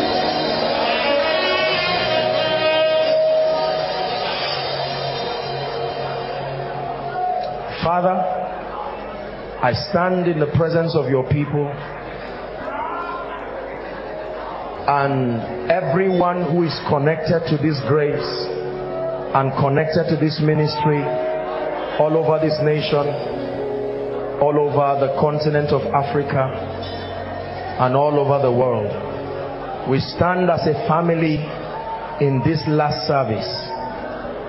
And whilst thanking you for everything you have done in 2019, we decree and declare, do not withhold administering the death that produces glory in us. In the name of Jesus, Lord, I pray for everyone under the sound of my voice and the millions connecting from different nations. Spirit of the living God, reveal yourself to us. Beyond religion, reveal yourself to us. In the name of Jesus. Father I stand before your people and as a family of faith we cry. The price for the relevance of 2020 the price for the revelations of 2020 the price for the signs the wonders the influence the price to earn your trust for 2020 through the ministration of death we pray in the name of Jesus may that price be fully paid in our lives.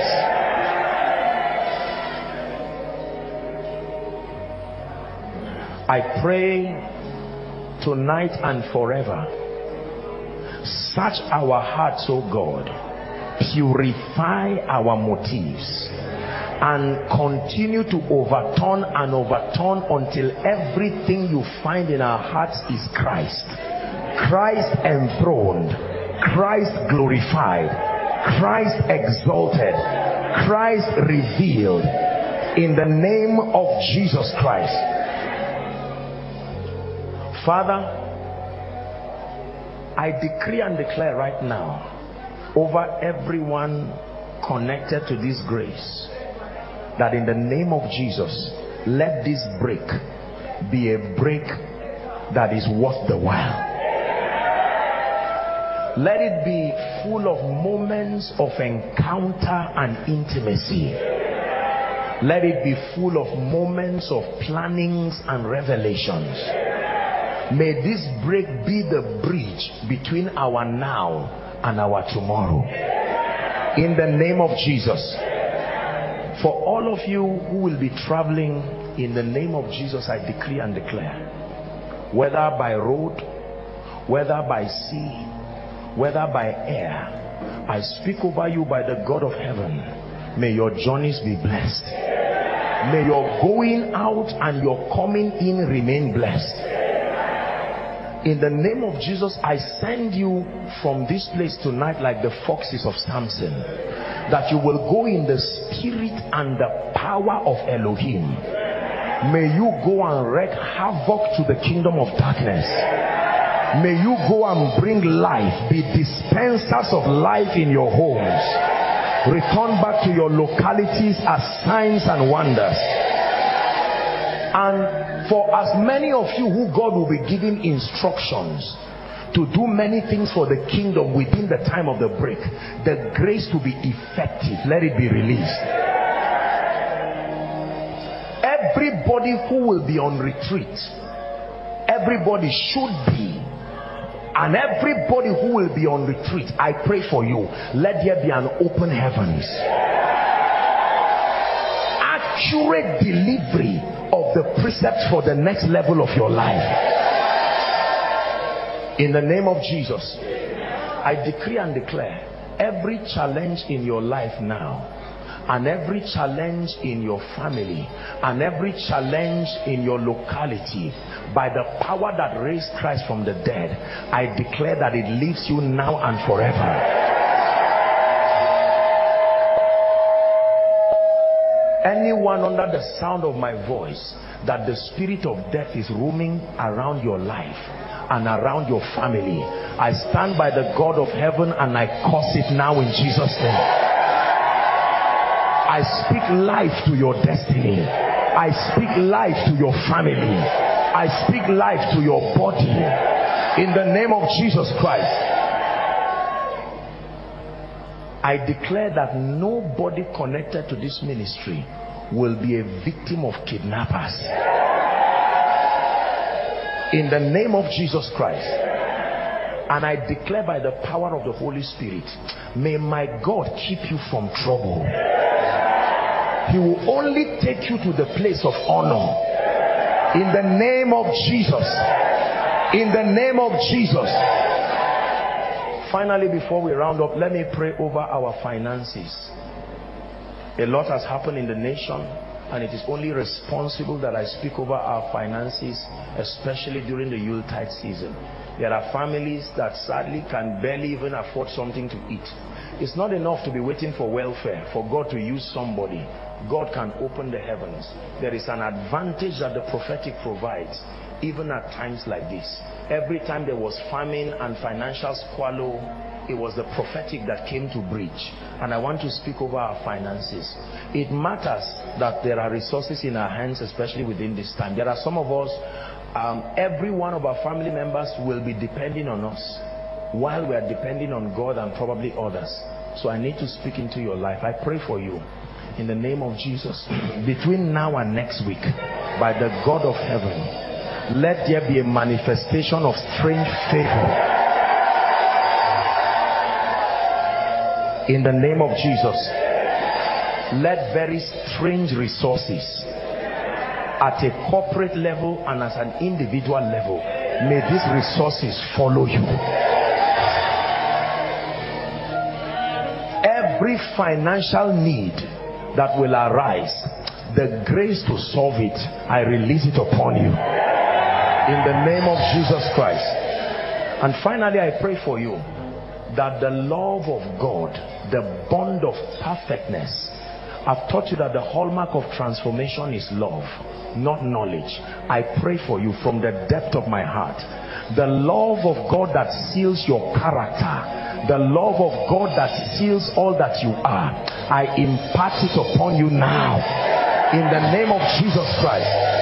The Bible says, by this shall all men know that we are your disciples when we have love one for another. May the baptism, a fresh dimension of love, let it come upon you. In the name of Jesus, be extensions of that love to your loved ones.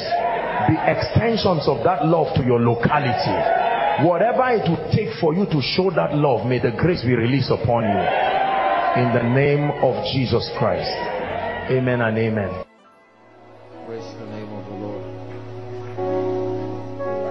Hallelujah. Let's lift our hands and worship Him. Let's lift our hands and bless Him because He is faithful. Lord, we thank you. You are worthy of praise. You are the doer of signs and wonders. Lord, we return thanks for the mighty things that you do in our midst. We say thank you. For the healings, for the miracles, we say thank you. For the signs, for the wonders, we say thank you. For the liftings, for the transformations, for the restorations, we say thank you. Glory be to your name. Glory be to your name. Glory be to your name. Glory be to your name. Hallelujah. Praise the Lord. Let's hold hands together and just pray in the Spirit one minute that the Spirit of revelation will be mighty upon us even as we hear what the Lord has for us tonight. Go ahead and pray.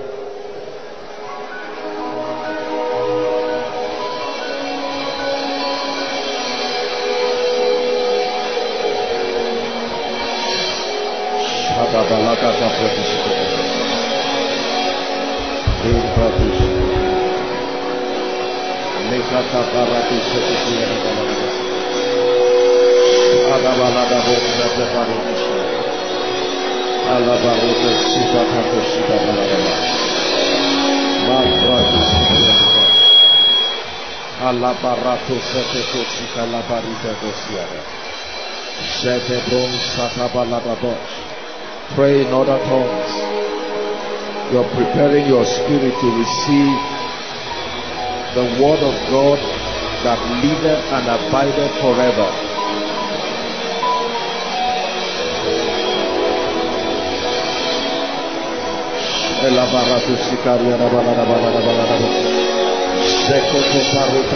Pradika da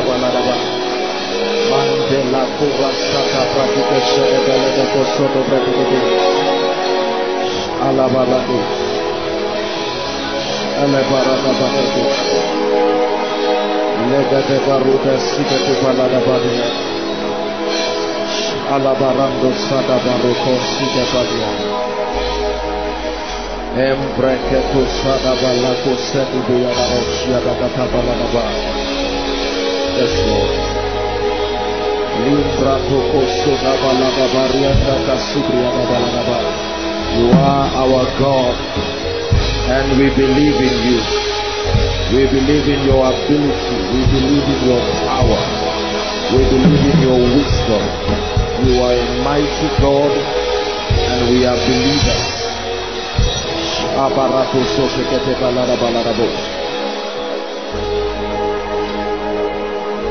Hallelujah. Spirit of the living God, you were sent to us as the spirit of wisdom, as the spirit of revelation. We're gathered here tonight because we're passionate about knowing you and understanding your ways, accessing your power and walking in dominion. We ask you tonight that you open our minds, open our spirits, open our eyes, give us capacity to comprehend, to understand the secrets of the kingdom. We have come again, O God. We declare that except you teach us, we cannot understand. Except you open up our minds, we cannot comprehend. So we cry, dear Spirit of the living God, that you prevail over us until the word of God becomes spirit and life. And I pray that the grace to manifest the realities of this truths, that that grace also be supplied us tonight. In the name of Jesus. Amen and amen. God bless you. Please be seated. Hallelujah.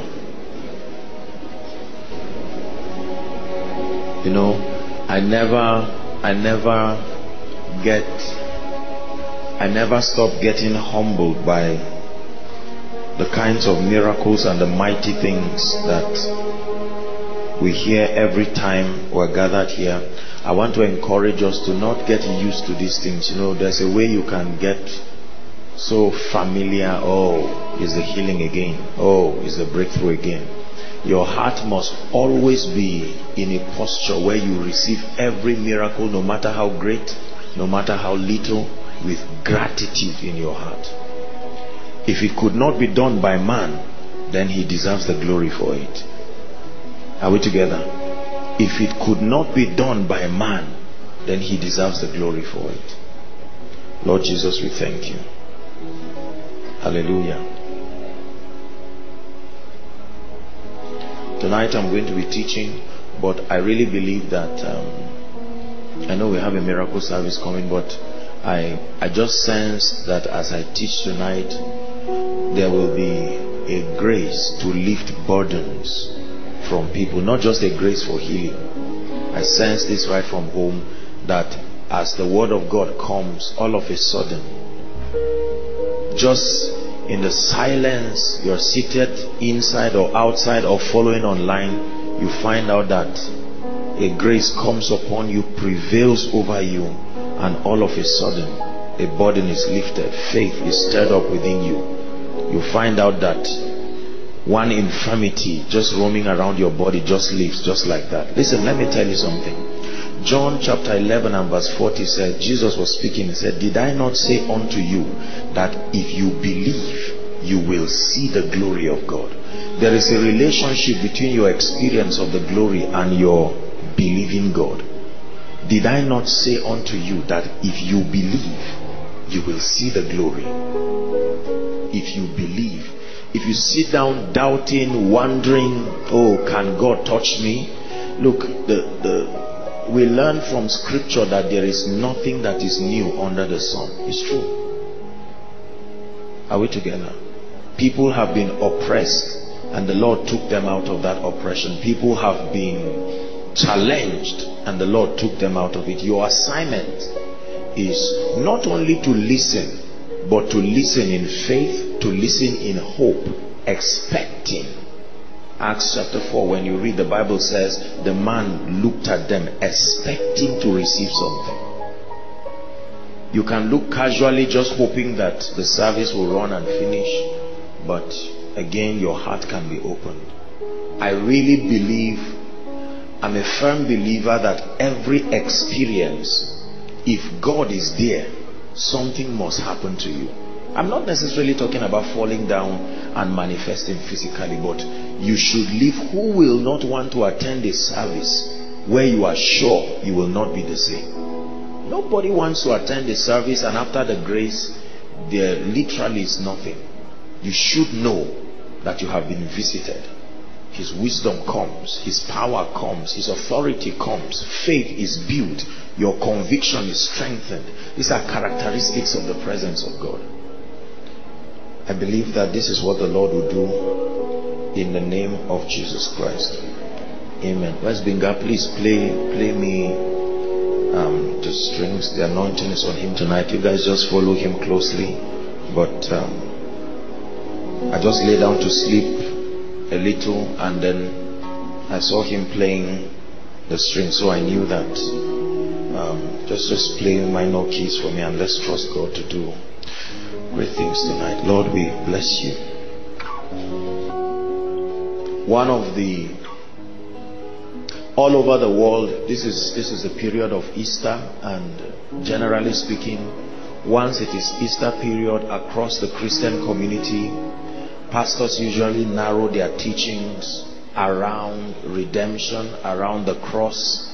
Um, every man of God attempts to help the people or remind them once again of the significance of the cross, the significance of the death of Jesus, his passion, and everything revolving around it. And um, as I meditated upon the things that I'll be sharing tonight, I, I just felt very strongly stirred in my heart that the Lord would want me to teach rather on um, issues that relate to taking advantage, um, validating the death of Jesus, his resurrection, using our lives. You see, as a leader, I have had the privilege of blessing people, teaching them truth and all of that.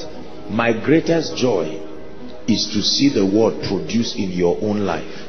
So I can imagine that the joy that is in the heart of the Father is not just that we keep commemorating periods like this, but that we walk in the experience of what that death was meant for. Are we together now? When the Father looks from the throne and sees people dying of Lassa fever, dying being buffeted by Satan. It doesn't matter what discussion about Easter we make, it's a mockery. Hallelujah.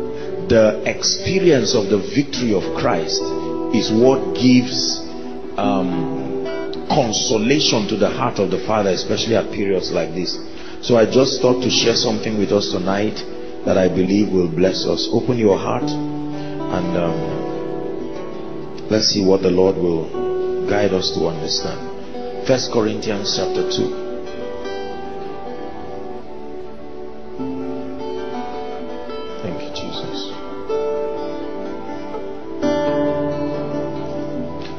Let the weight of your glory fall.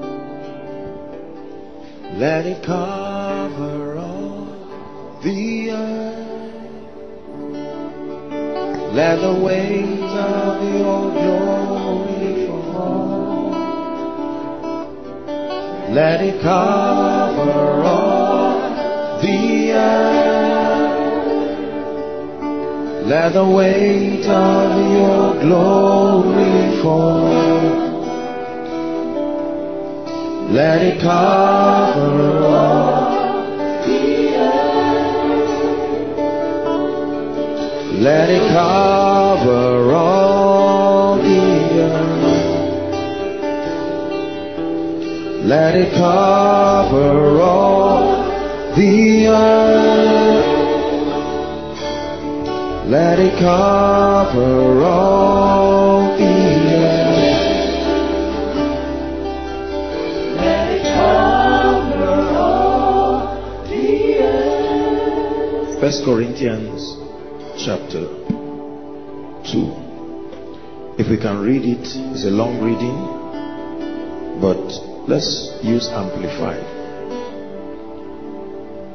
Paul began to teach something very powerful, and I want us to look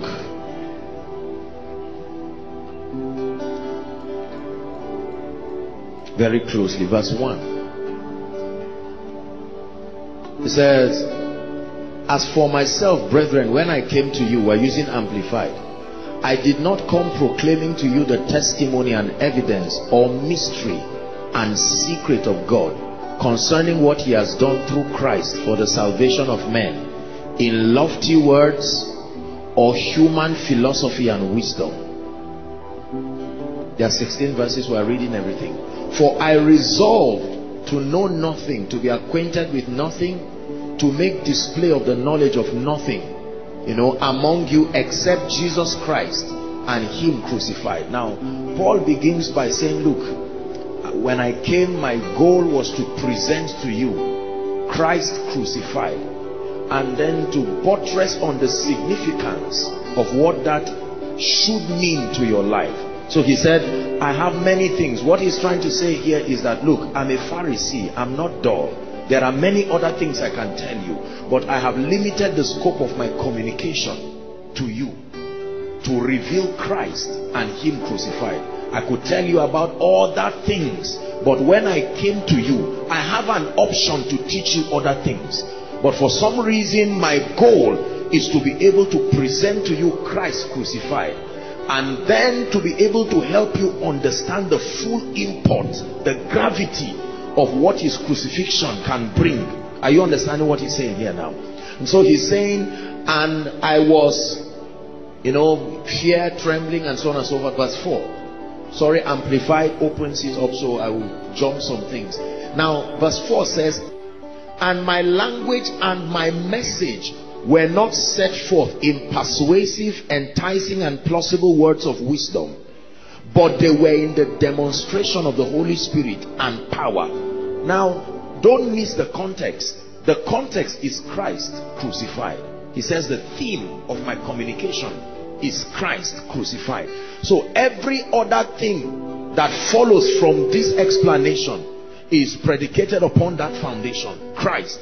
When I came to you, my message started with Christ crucified. So every other thing that I'm going to reveal to you is connected to this foundation of Christ crucified. Are we following now? So that your faith might not rest in the wisdom of men, human philosophy, but in the power of God. Verse 6.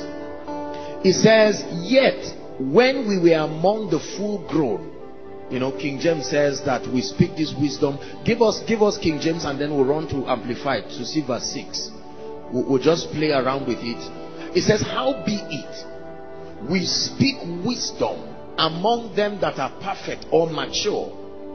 Now so look at his progression. The apostle starts by saying look ladies and gentlemen when i came to you i had an option to begin to teach you other things to teach you the the the to display the fruits of my intelligence. I'm a pharisee. I'm a doctor of the law. I'm a learned colleague. But i chose to limit myself to present to you christ crucified. And then he begins to say that I have done this because I don't want you to just brag about intelligence. I want your life to be limited to this reality alongside the blessings that come from it. Are we together now? Then he's now switching and saying, look, that we speak wisdom. So he has moved to the subject of wisdom now. Christ crucified and then wisdom. Yet not the wisdom of this world, nor of the princes of this world that come to naught. Verse 7. It says, But we speak the wisdom of God in a mystery. Now, look very carefully. Don't assume you understand what he's saying. We speak the wisdom of God, but is communicated in a mystery. Christ crucified, the foundation of my teaching. When I came to you, I came to teach you something about Easter. But I'm more concerned. I have other options, but I have noticed a lapse in your life. And there is a dimension I want you to come into that is tied to the revelation of Christ crucified alongside the benefits that comes from it. And then he says that we speak the wisdom of God in a mystery. Then he says, even the hidden wisdom. Let's see what Amplified says about it. 7 amplified but rather what we are setting forth is the wisdom of God once hidden from the human understanding and now revealed to us by God. It says that wisdom which God devised and decreed before the ages for our glory. Amplified says our glorification. Let's go back to King James. So the Bible says seven, please, and King James. I'm, I'm explaining something. Just walk with me, media. Verse 7 and King James. But we speak the wisdom of God in a mystery. Listen carefully. It says, which God ordained for our what? So, Christ crucified. We see the cross. There is a revelation from there. And part of the benefits that come from there is an ability of the Spirit to access what the Bible calls the hidden wisdom. And it says, whoever can access this, that God preserved it, that it is this formula that will be responsible for the glorification of the saints. That this hidden wisdom, whatever it is, has a part to play in our revealing the glory of God. That God Himself ordained it before the foundations of the world for our glory. Verse 8. Which none of the princes of this world knew, for had they known it. Now He connects it back again for had they known it, they would not have crucified. So if they did not crucify, there would not be the issue of the cross and there will not be access to this hidden wisdom that has to do with our glorification. Verse 9. But as it is written, I had not seen nor ear heard. This is in context of that same wisdom. Are we together now? When you're studying scripture, make sure you keep following the line. Don't just pick a scripture and delve. He's communicating something here. I have not seen nor ear heard, neither have entered into the heart of man the things which God had prepared for them that love him. Verse 10. Now we see the Holy Spirit introduced into the equation. The Bible says, But God had revealed them unto us by his Spirit for the Spirit searcheth all things. Yea, the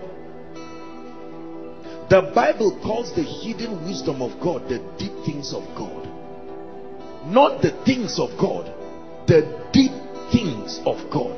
So he starts by saying, I came to you and I present to you Christ crucified that if you understand the mystery of Christ crucified alongside the benefits, one of the benefits, if you are well taught, one of the things you should be taught is that the implication of his crucifixion now has brought you to a realm where you can access what the Bible calls the hidden wisdom of God.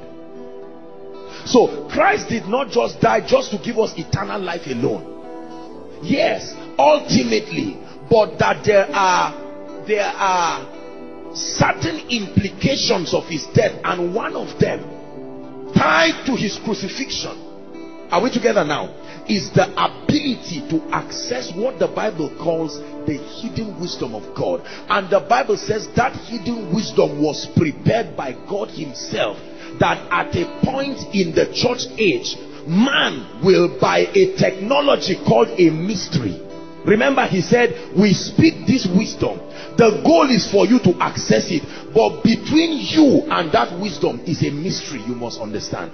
It is not the wisdom that is the mystery. The mystery is the name of the technology that transfers that mystery, that wisdom from God to you. He said, We speak it in a mystery.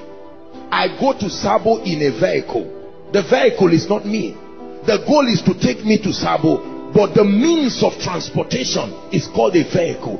The means of accessing this wisdom, the Bible says is a mystery.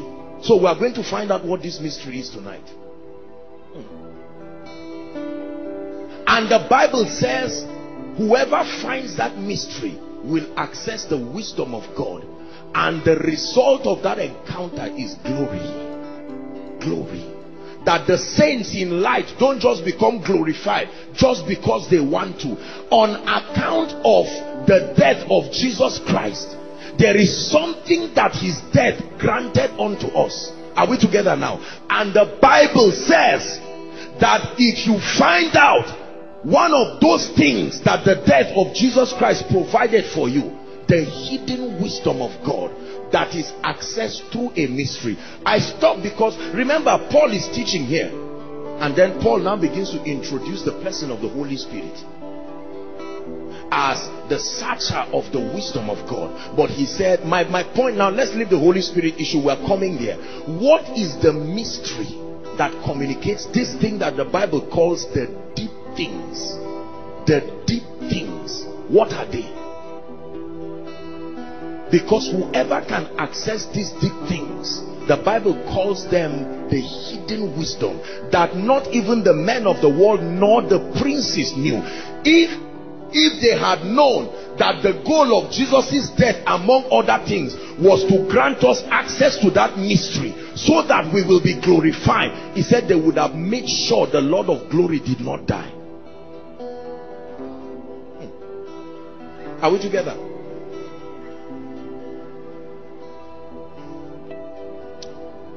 Galatians chapter 3 we're coming back here. Galatians chapter 3. Please give us from verse 10.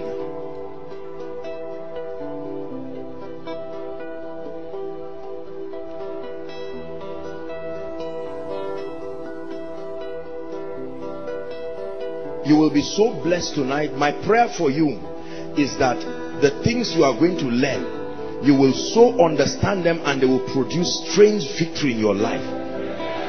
In the name of Jesus Christ. For as many as are of the works of the law are under the curse, for it is written, Cursed is everyone that continueth not in the things that are written in the book of the law. Read on. Next verse, please. But that no man is justified by the law in the sight of God, it is evident, for the just shall live by faith. 12. It says, And the law is not of faith, but that man, but the man that doeth them shall live in them. 13. Then he says, Christ hath redeemed us from the curse of the law. And it tells us how he did that. He says, being made a curse. For it is written, curse is everyone that hangs on a tree. We see the cross back again. Are we together now? Remember Paul said, Christ crucified. Christ crucified. That's his message. When I came to you, I looked at a lapse in your life that the foundation to remedy that lapse is a revelation of Christ crucified and the full import of what the crucifixion does to you. But I'm choosing an aspect of it that you can access the deep things of God on the strength of this revelation of Christ crucified. And on the strength of those deep things you can manifest glory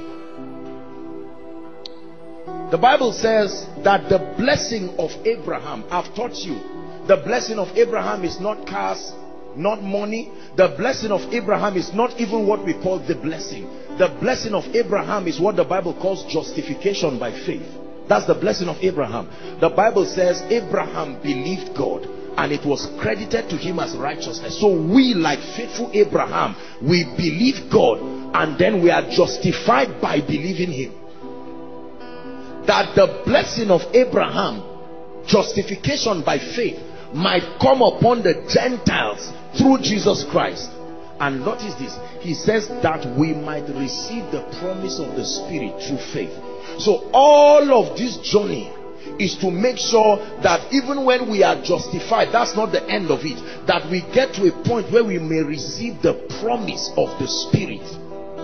There is something about a technology that transfers the Spirit into a man and the Bible says it was because Christ became a curse on the cross. Are we together now?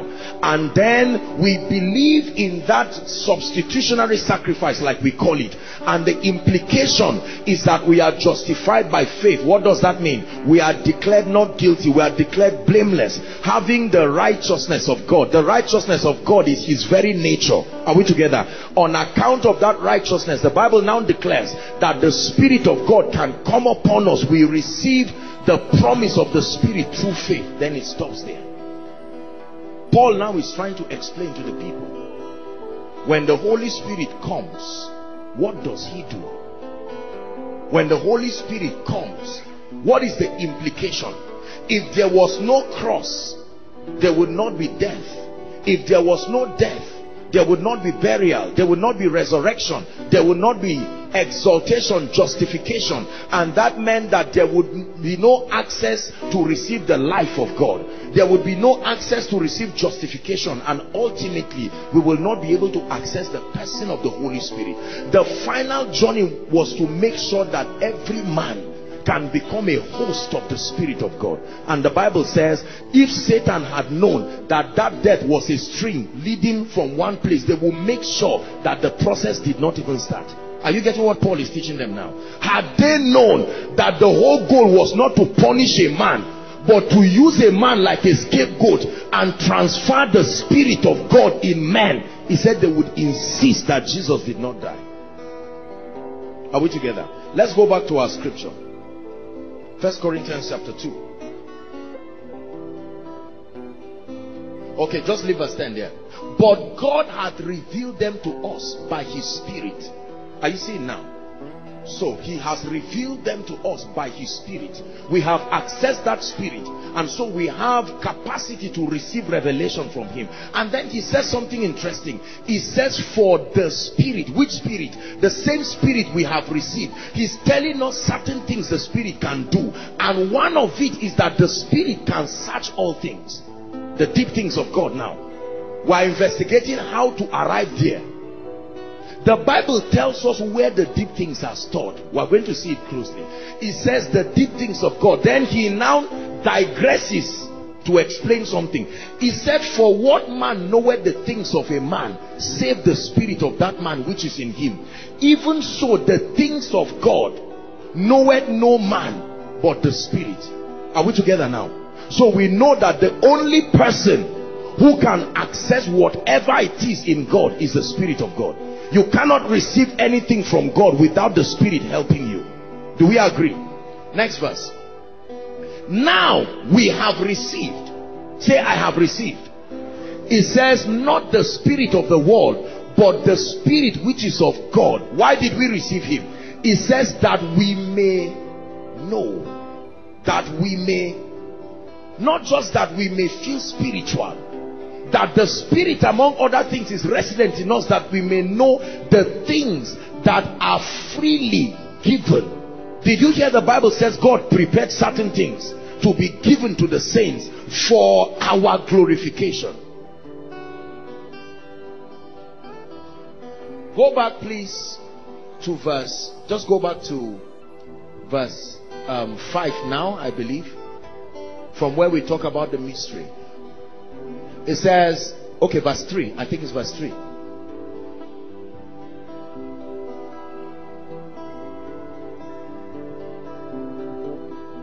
Um, okay, 6. 6. 6. I think it should be 6.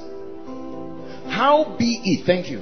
We speak the wisdom of God among them that are perfect. The word perfect is mature. Yet, not the wisdom of this world, not the prince of this world that come to naught verse 7 but we speak the wisdom of God in a mystery. So this wisdom is spoken but it is spoken in a mystery a mystery that God ordained. Are we together?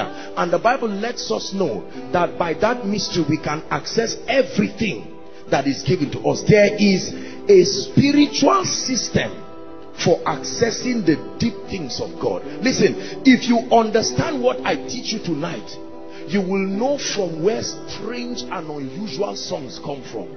If you understand what I teach you tonight, you will know where strange ideas and supernatural solutions come from. The Bible tells you that in as a result of the death of Christ, that you can access the mind not just the mind of Christ, the mind of the Father, that resident there is the hidden wisdom called the deep things of God. He says, Whoever can find it, the Holy Spirit brings it to you, but there is a mystery you must engage. Listen, the Holy Spirit is many things. One of what he is is a searcher. But he does not just search until the mysteries engage. There is a mystery that will engage. He no longer becomes a comforter. He no longer becomes a, he starts to search. There is something that can be done on earth that switches the ministry of the spirit to go to the mind of the father and start searching the deep things and bring it to you. And he says, if you find it, your life will spell glory.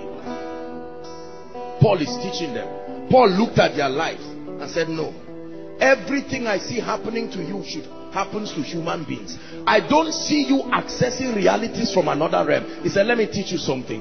I, I wanted to teach you a lot of things, but I see there is no glory in your life. Let's start the lecture. The foundation is Christ crucified.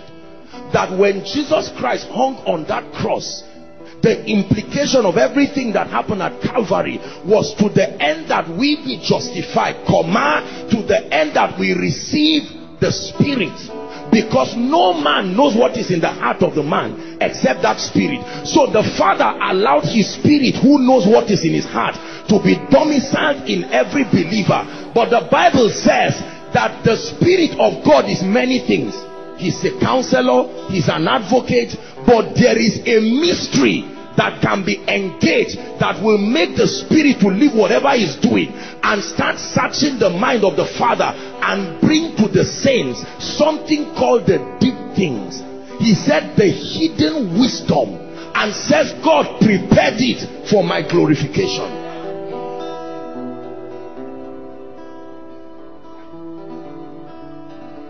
Many people have taught that this mystery is just to blast in tongues.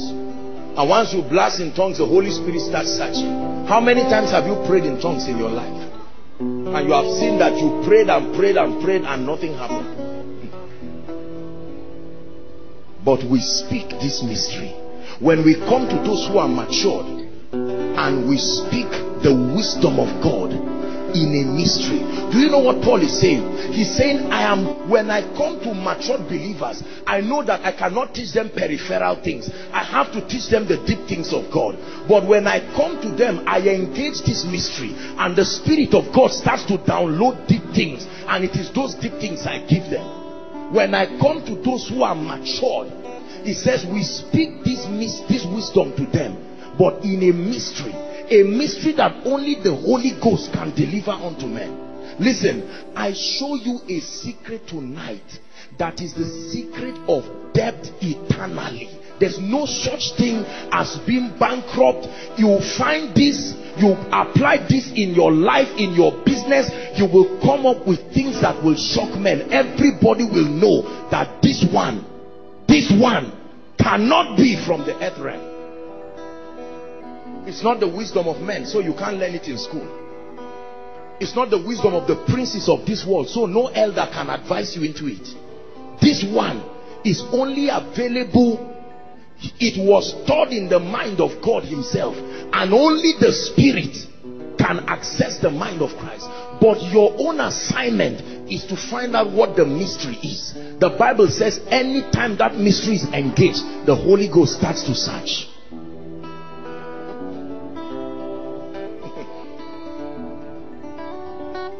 There is a spiritual system for accessing deep, hidden revelations.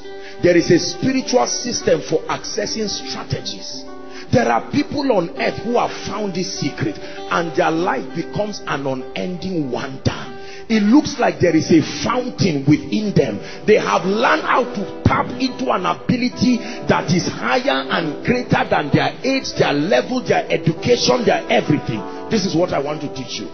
If you have this i can tell you happy easter. If you don't have this we can rejoice for nothing and eat and go back and there is no glory in our lives.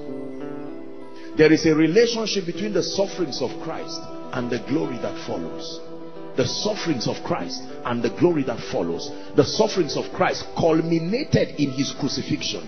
It didn't start in his crucifixion. The sufferings of Christ started right from his passion at Gethsemane. I hope you know that at Gethsemane, that's where Christ became the second Adam. Because two things happened to Adam in the Garden of Eden. First, Adam lost what we call righteousness, right? The nature of God. He lost it. He still had the likeness of God, but he lost the image. The Holy Spirit. He lost. So if Christ were to be the second Adam, he would have to lose those two things too. Are we together now? Yes. And the only condition for Christ to lose righteousness is to become sin. And he became sin through what we call in theology the doctrine of interpenetration. That's what the communion is. The mystery that two people become one. Ejimi and his wife now, as far as God is concerned, are one. She has her own body, he has his body, but in the realm of the spirit, they are one. Whatever accesses him can access her without permission. If he agrees, she will pay for it. Because they have become one. Hmm. Are we, are we together now? And the Bible says that when that communion was broken, Remember, I think I've taught this many times in this place. That the reason why there were 12 men, you see, do you know why it was only men in in in, um, in, in the upper room?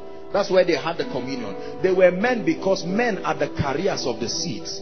And sin is transferred through reproduction. Are we together now? Women don't carry the seeds. Women only receive the seed and give birth to another life. So the men there were standing, 12 of them in number. 12 is the number of government. So they were there. It was the whole world prophetically entering into that covenant where man can now, Christ can now take up the nature of man. That's why he said, if you eat my flesh and drink my blood, you have your life. So he broke himself and said, eat. And it gave access for him to carry the whole nature of man. Watch this. Then he went to Gethsemane and he began to cry. He said, Father, if it be thy will, let this cup pass. What cup? The cup was not death. The cup was the Holy Spirit leaving him. Because the moment the Holy Spirit leaves him, he cannot be in touch with heaven again. Remember the connect of the mind. Remember, it is the spirit When he said Eloi, Eloi, Lamak Sabachthani, did the father reply? Because that which is flesh is flesh. That which is spirit is spirit. The Holy Spirit was not with Jesus on the cross. If he was with Jesus, the nails will not enter his hands. He had to leave Jesus.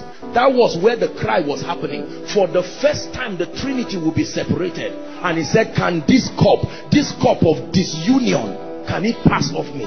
He said, But it has to happen. Nevertheless, not my will, but yours be done. That was the reason why when they held him from that time, everything that happened to him was happening to Adam and whoever came from Adam. You see that now?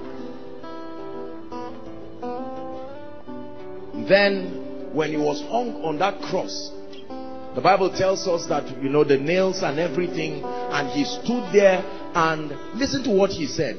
He said, Father, into thy hands I commend my spirit. Jesus now went to hell. I hope you know that Jesus went to hell to fight Satan, not with the assistance of the Holy Spirit. He went as man, Adam, to hell. The Holy Ghost was not there. No, it was not there at all. You see that? If the Holy Ghost was there, Jesus would not be able to go where he is going. Are we together now? And he stood there, defeated Satan, collected the keys. And then on the third day, that same spirit that had left him now came back.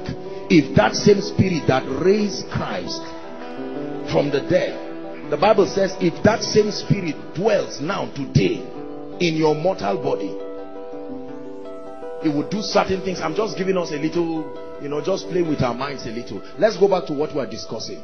He said that there is a mystery that activates the holy spirit searching the deep things of god and revealing it to us. And he says tied to it is our glorification. Among the many things listen carefully among the many things that this mystery can bring is to transport the superior wisdom of God and to reveal them to man through the Spirit. That part of the blessings of the crucifixion of Christ and the import of redemption is the ability to engage a mystery that causes the Holy Spirit to search the deep things of God and reveals to man. The mystery that controls creativity the mystery that controls innovation the mystery that controls divine strategy, the mystery that controls supernatural solutions, the mystery that can stir up every dormant gifting and ability in man. The hidden mystery. Let's discuss the technology of activating this mystery. Jesus. Number one, write this down. The first thing I want you to note is that the mind of God is a compendium of infinite wisdom. Write it down. The mind of God.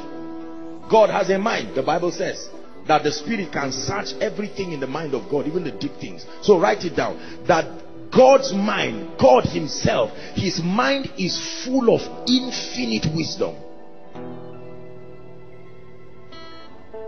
Number two, whatever this mystery is, we know that it is engaged by speaking. Write it down. We're establishing something now. Please just help those under the anointing. Let's be sensitive. I believe that God will be giving a lot of impartations. The mystery is engaged by speaking. So we know that for the activation of this mystery, your mouth has a role to play. Now listen very carefully. Number three, you see, this thing we call speaking in tongues, look at me, everybody, look at me. We have missed a lot in it.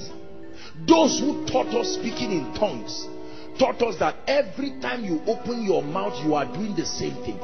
Speaking in tongues has dimensions and all those dimensions have allocations in the spirit for what they achieve just because it looks like you are doing the same thing so you think every time you are speaking in tongues this mystery is activated by speaking there is the speaking in tongues that is for intercession there is the speaking in tongues that is engaging the mystery that makes the spirit of god to start searching the deep things of God. It's not just that because you open your mouth, you are praying. I'm going to guide you. You will understand what I'm saying shortly.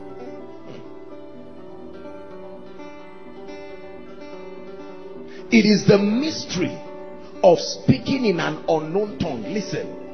But the goal is not intercession nor supplication. The goal is a system of reception. That speaking in tongues is not only an instrument for intercession. There is a dimension of tongues that you speak to receive. You receive things in the spirit by engaging that mystery not just interceding for sinners not just praying there is a dimension of the hidden wisdom of God that every time you begin to utter tongues with that revelation and with that consciousness the Holy Spirit does not just come as an intercessor. It's a message you are sending to the Spirit that I am in need of a mystery. And the Holy Spirit says, I get the message you are saying.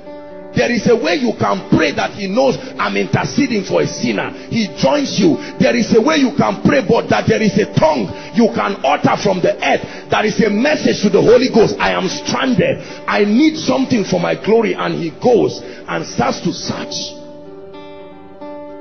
Most of us think every time we pray in tongues, because it sounds the same, you think you are saying the same thing.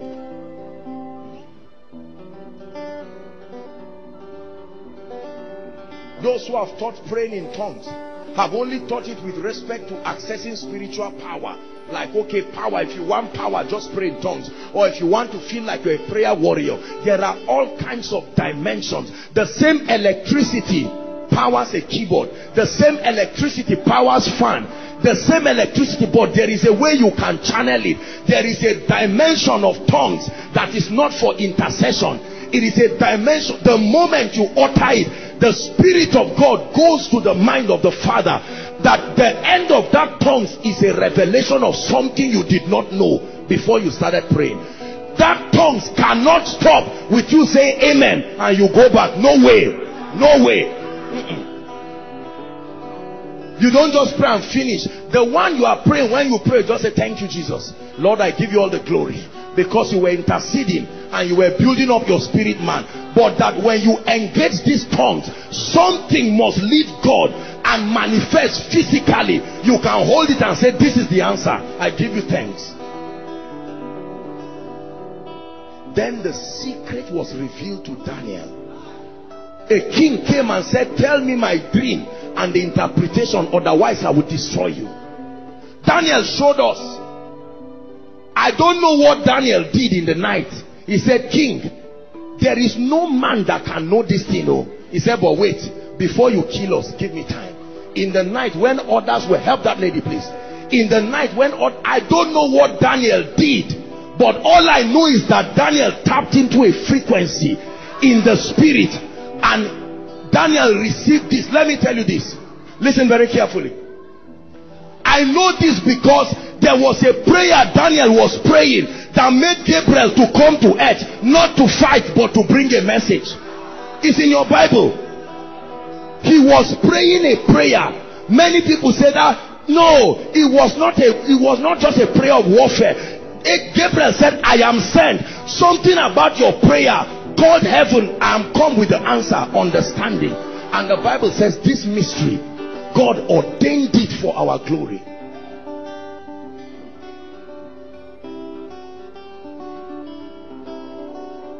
Daniel was an ordinary man. These saints in the Bible were ordinary people. It is these mysteries that turn them to become like gods upon the earth. What kind of men are these? They want to kill somebody and a human being with flesh and blood says, give me time. He goes to the secret place and says, king, I have your answer. And the king looked at him. The dreamer forgot his dream. The dreamer forgot his dream. And someone went to bed and all of a sudden came back. This one is not word of knowledge. Oh. This is a download of a strategy. Word of knowledge gives you in part. This one comes to give you an information. Imagine what that would do to your life. Imagine that you can tap. Let me tell you, listen, without this strategy, you will never move forward in life. You will get to point where you will stay grounded. Nothing on earth has the capacity to move you. And the Spirit of God just stands. Oh, I'm born again. Ba, ba, ba, ba, ba. You can pray for three hours and intercede for everybody, and the Holy Ghost will say, If you know, this is what Apostle Paul that guy was a dangerous guy. That Paul you see. Paul came and saw the believers and knew what was wrong. He knew what was wrong with their spiritual life. You guys are zealous. You guys pray all the time. But there's something you don't have. Let me teach you. Remember, they were filled with the Holy Ghost already. What he did in chapter 12, 14 was to explain to them. But Paul saw that they were not maximizing certain things. He said, let me teach you. You see all these mysteries I share. Let me show you how they come. This Paul teaching now. Paul says, I am ordinary. Some of the apostles knew Jesus before me.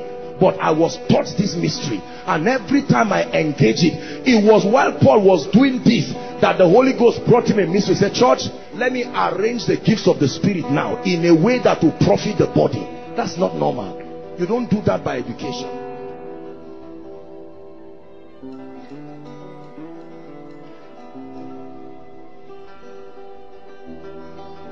Let me tell you, there are things God has brought to me by these truths. You see, Ba, when the truth of scripture comes to you from heaven, you may not be able to share everything, but there are truths. Some of this system of operating in the anointing, this is how they came. A visitation. Son, this is how this thing works. If you understand what I'm saying, brothers and sisters, the next time you go to pray, many of you will have, some of you have done it unconsciously. That's why you see people come to testify. I went to bed and I had a visitation. No, nobody just comes. They are called. They may use the face of a man. They may, God had mercy on you. You just knew you were praying. Something about your prayer called heaven. Listen, Read your Bible and see men who called heaven. Some did not get an answer. Some got an answer. The Bible calls it a mystery. How could God leave men on earth without an assistance?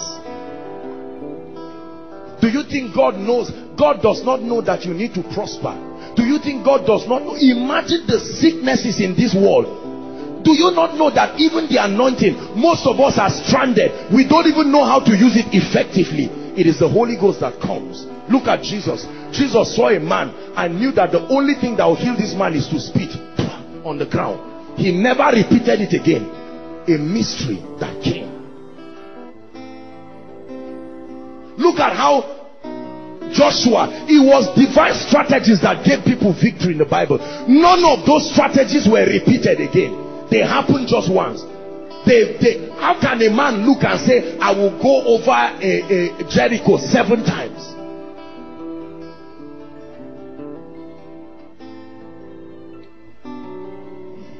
Knowest thou the ordinances of heaven, and canst thou establish their dominion upon the earth? Knowest thou the ordinances of heaven, and can look at that gentleman who gave a testimony. He had it's a, it's a true testimony. I got i got it too. He broke his I, I, I don't know whether he broke his teeth or i think they were supposed to remove four of his teeth or something an accident. And then something else happened to him. And the gentle i don't know what he did though but the gentleman said he went to bed and all of a sudden a revelation comes and he gets up and he's gone. Nothing just happens like that. It's not true. There is a dimension of God's glory that will never manifest in our lives. For as long as all you think will bring you glory and greatness in life is just certificates or wisdom from age or just searching Google how to be rich enter. How to do business enter. How to be a good wife enter. For as long as that's what you are doing that's Sophia the wisdom of men. There is a superior dimension. Most of us know it but you think it just comes just by looking at the Bible alone. No. There is a dimension where you can call for the assistance of heaven. There are certain things, let me tell you, God taught me about the anointing. He taught me not by saying, He taught me by imparting that knowledge. I can't teach it because it was not through words. It's, it's a lecture, but it came like a software. See, what makes men unusual is the mysteries that upgrade their lives, not their skin, not their body. When you see an ordinary person and you see a dimension of result that is not human, go back and ask either a witch or a wizard appear to that person or something must have happened in the realm of the spirit. Hmm. Are we together? That you can go back and look at your family and they can say what is special about the Easter and he said Lord there has to be an answer to what is happening in this family are you not seeing the way our families are? How many of you have seen that the solution cannot come from earth? The deep things of God. There are pastors stranded in ministry. Look at the foolish instructions people do to rise in life. It does not sound human but because it came from the mind of God, it produces strange results. Go around the city seven times. Because it came to a man. He went round and the city collapsed. Are we blessed? I'm sharing with you a reality that I've walked in myself. Stupid things. But came I know how to call for help from heaven. If you don't know in this wicked world, the devil will eat you up and spit out your bones. It's not every tongue that is just for building up your spirit. There is a dimension of praying in tongues that is a cry of mercy in the realm of the spirit. I need assistance. Oh God, I am stranded. Except you help from heaven, I cannot do anything. And all of a sudden, an emissary is sent from the realm of the spirit and comes to deliver as desired paul said the hidden wisdom that god ordained for our glory are you getting blessed now let's continue let me show you something go to verse 10 verse 10 please sit down sit down thank you sit down it says, but God has revealed them to us. Listen carefully. It says, by his spirit. For the spirit searcheth all things. Yea, the deep things of God. That's why we stop, right? Now, Paul is trying to explain to them that the Holy Spirit is the searcher of these things. But now he's telling us that there is a limitation to this thing. And here's the limitation. Go ahead. He says, okay, we've, we've read, go to verse 12. Verse 12. Now we have received the spirit of the world, but the spirit which is of God, that we may know the things that are freely given to us. 13. Which things we speak, not in the words which man's wisdom teacheth, but which the Holy Ghost teacheth, comparing spiritual things with spiritual. 14. But the natural man, now watch this. This is the limitation to this experience. Once you are natural, once you are natural, he says, but the natural man cannot receive these things. Why? He says, for they are the nature of that mystery is such that you must be a child to be able to receive it. It's too childish for natural people to access it. What is it in a dance and breakthrough? What is it in an instruction and miracle alert? These are manifestations of the hidden wisdom of God. For they are foolishness unto him, neither can he know them because they are spiritually discerned. Two more verses. 15. But he that is spiritual judgeth all things, yet he is judge of no man. 16. For who had known the mind of the Lord that he may instruct him? The word instruct him is not just to direct him. Who had known, let's, let's see what Amplified says. Amplified puts it beautifully there. Give us Amplified. For who has known or understood the mind, the counsel and the purposes of the Lord so as to guide and instruct him and give him knowledge. He said, but we have the mind of Christ and do hold the thoughts, the feelings, and the purposes of his heart. It's a question he was asking who here. He says, Who, which ordinary man knows the mind of Christ that he can even instruct him? He said, We do not qualify to know the mind of Christ, but by that spirit, he says, We have the mind of Christ. We have accessed something that men cannot have. The ability to hold the thoughts, the feelings, the purposes of his heart. Men rise in this kingdom through the mysteries that they know. Men rise in this kingdom. Your life and my life is not just going to rise just because of our education as good as it is. Your life is not going to rise just by the informations. There are things in your life, the answer is not in any book on earth. There are things, there are solutions in your life that need to come that there is no other way of accessing it. I show you a system that was created in the kingdom for our glorification. Someone met me one time, a gentleman, and he said he works in the bank. And he said they gave them an assignment to bring a particular target. Me too, when I had that amount, I said, Haba, where is this guy a thief? Where is he going to go and raise that kind of money within one month or whatever? Let me tell you, there are things in your life you stand and look at this mountain. You do everything you know to do it will not move. At that level you stop trying. You allow the spirit of god. Remember i told you the mind of god is a compendium of infinite wisdom. I dare to tell you there is an answer to every question. It just depends on who tells you the answer. There is an answer. The bible is full of men women people who they, do you know do you know i believe with all my heart that it was part of this hidden wisdom that guided solomon to give a thousand burnt offering. Yes he loved the lord but that kind of thing cannot be normal. It's not just no it's not just a, will you carry a thousand burnt no. Solomon there is a formula to get what you are looking for and he directed him and he did something that was foolish and God came. He said, you called me. He didn't say you slaughtered animal. You called me. I'm here.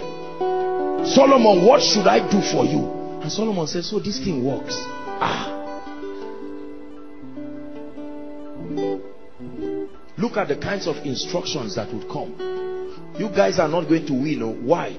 You are not circumcised. Ah.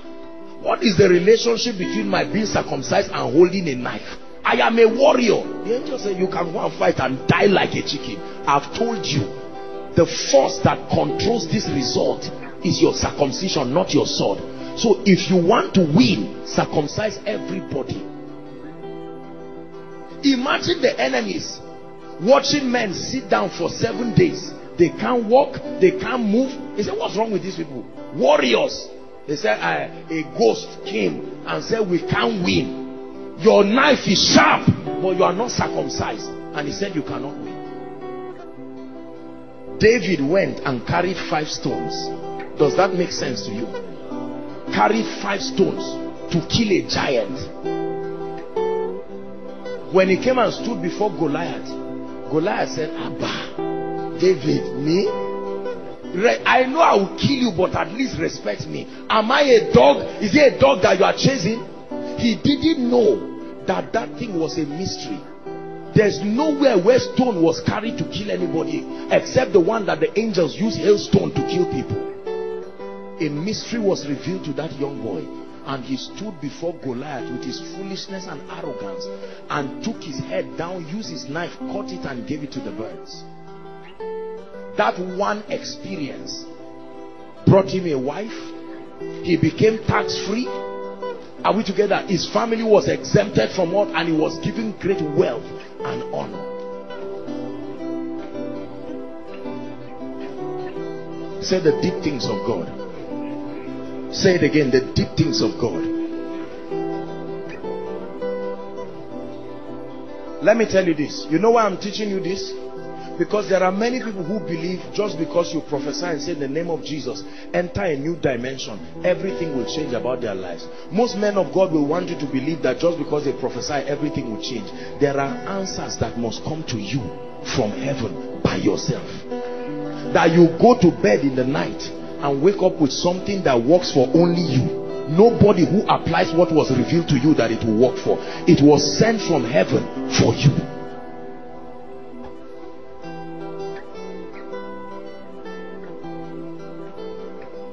you getting what i'm saying now i don't mean to be disrespectful but you can get up and see just because you don't see koinonia posters around you now go and then don't produce poster too for you is copy and you find out that no people say, I don't know what you are doing, you didn't inform me. I say, ah, but how are they doing it here? They are not just doing it here, it was received. That's why it's working. Ejimi, you were there when I told you God gave me the solution for the spreading of koinonia messages. Is there? I came and told him, I said, God has given me the answer. No selling videos, no packaging anything. Put it online. And the Lord said he will give it wings. That was the instruction the hidden wisdom for our glory look the blessing that the lord has brought today because of the ability to access the deep things of god brothers and sisters imagine other things that can happen to your life. Imagine how the, god can end that mockery your family overnight by one encounter with the wisdom of god. Do a b c and you stand up foolishly and do it. And that's the end of it.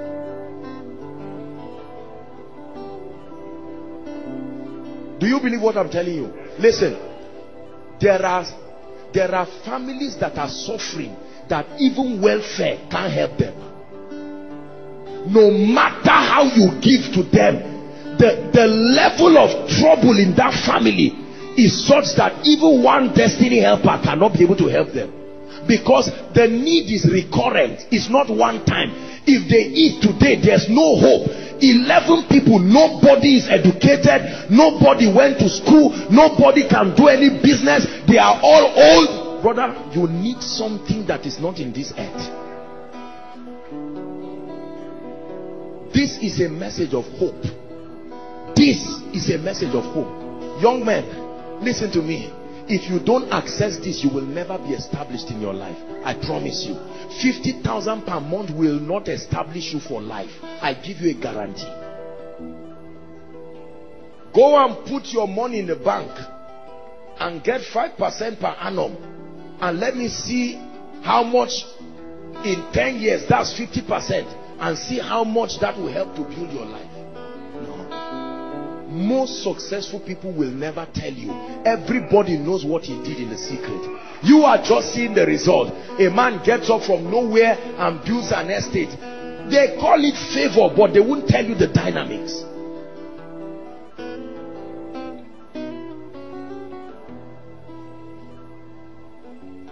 Your favor is real. I testify your favor is real. Your goodness is real.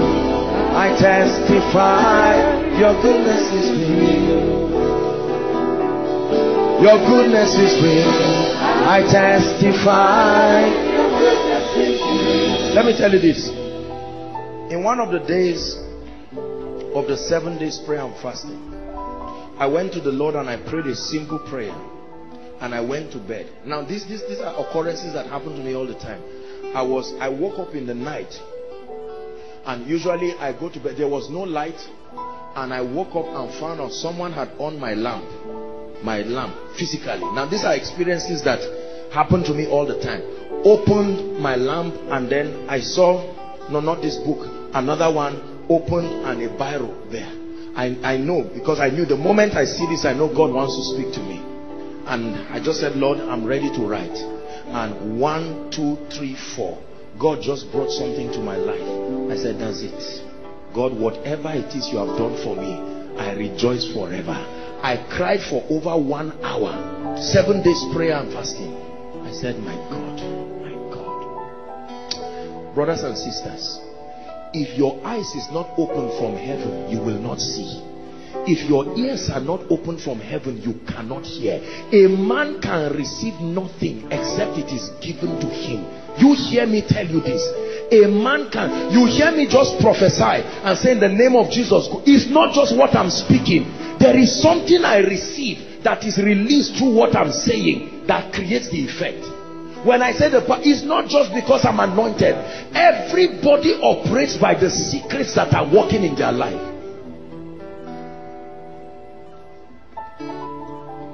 Hallelujah.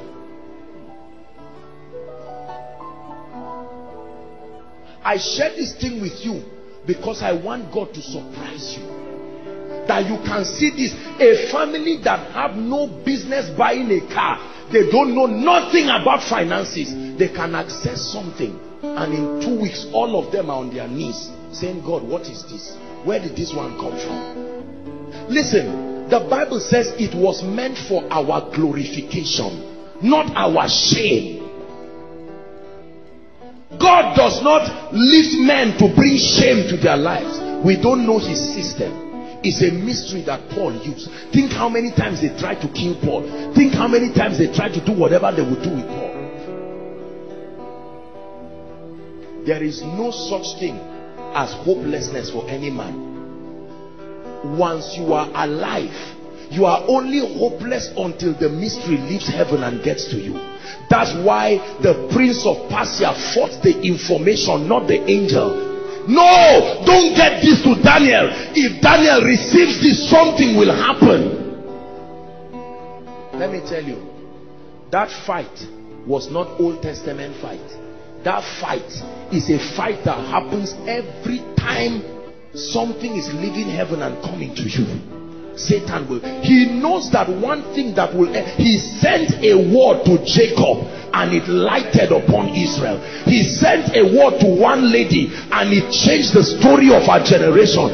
That nobody in your family rises to a level and all of a sudden something enters you and you just turn. And let me tell you, I can know what has entered you by the results that follow. These things, eh? Take your eyes away from physical things. When god gave me this physical things are remote controlled forget all these things you desire. It's not by chasing them. There is a central control button in life i guarantee you that brings you these things. One of it is this physical results. You have seen it happen in this ministry. You have seen it again and again. No man can do these things except god be with him I'm saying this to you because the reality of the death of Christ is useless until your life brings glory to your family. We keep mocking ourselves as Christians, going everywhere. Jesus died for me. I am born again. There is nothing that symbolizes glory, not in our lives, not in the life of anybody. Every unsaved person is still unsaved. There is something you and God can do that will make the hardened sinner in your family. Within two weeks you will come one night and hear him listening to a message from your phone. You say sorry sir. This is a christian message. Say you don't know what happened to me. Oh. just leave me quietly. You just know that god has come to your family. Something you did called for his help and he came. Hallelujah. You hear that lady? One point. Hand is touched. Changes to four points. You try it and see if it will change it's not the hand it's the mystery. It's not the hand. So most people just think oh i will just confess just because the bible says to speak. And in the name of jesus i decree and declare oh receive this and you find out nothing happens. Because you see it is what supports what you are saying not just the speech itself.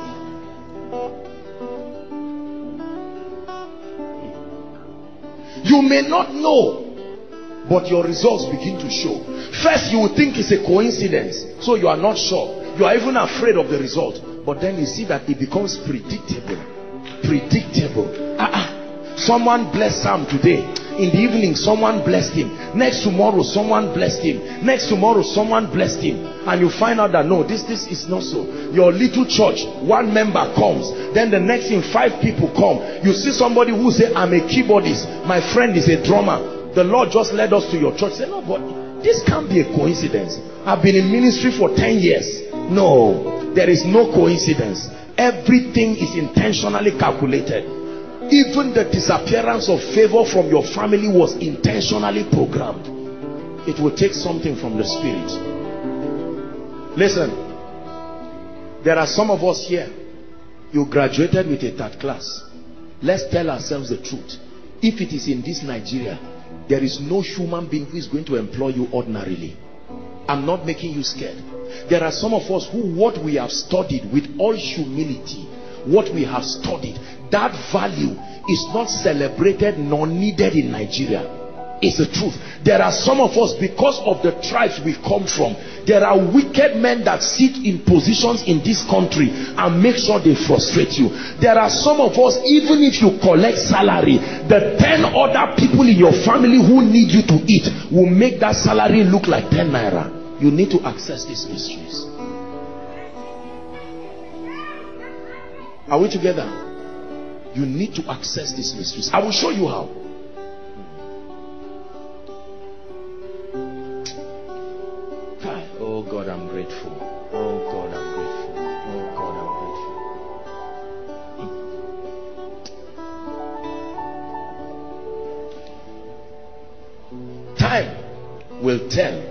whether we are just talkatives or dispensers of the mysteries of the kingdom time will tell whether what you are receiving is a cunningly devised fable or is a programming that will make you surprised at your own life.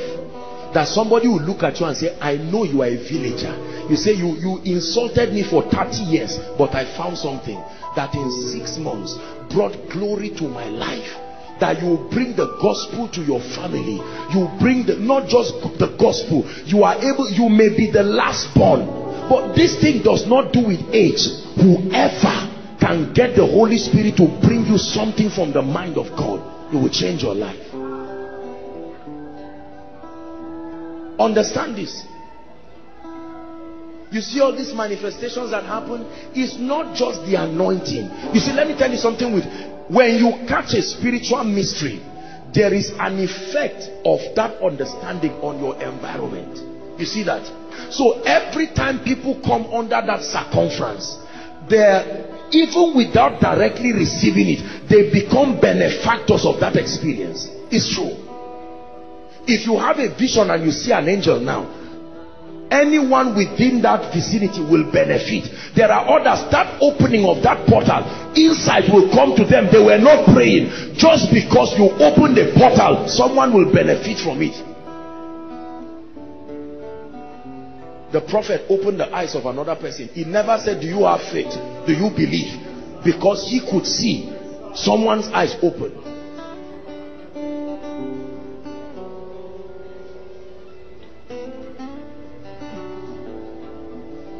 but the natural man the man who is scientific the man who laughs at anything that is of God the man who looks at all these things and say, look, let me tell you, I, I went to Harvard Business School. I'm a smart man. I know everything about economy. I, I went to so-so-so business school. Nothing is wrong with that. I did this and that. Look, I'm a smart gentleman. I got this and that. The Bible says those kinds of people, to them, when you are talking like this, they are some of these bloggers that write nonsense and extract messages like this and say look at the rubbish that they are teaching members. And another natural man will concur and say yes so they teach people to dance in church. They teach people to jump like fools. Ah religion the opium of the masses. I don't know who taught that but what i am telling you is the mystery that men have accessed and produced wonders with.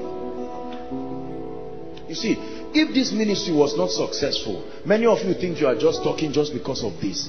Is let me tell you something with results. Results strengthen your message. Are you hearing this now? That's why for many of you no one has received your gospel. Results defy argument. You can argue with a man but you can't argue with results.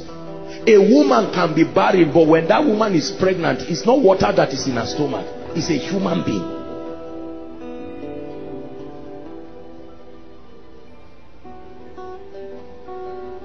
this earth you see is like a computer game. Whoever has the control button will make nonsense of satan in this earth. There are things i have learned that have surprised me how satan hid this thing from the church.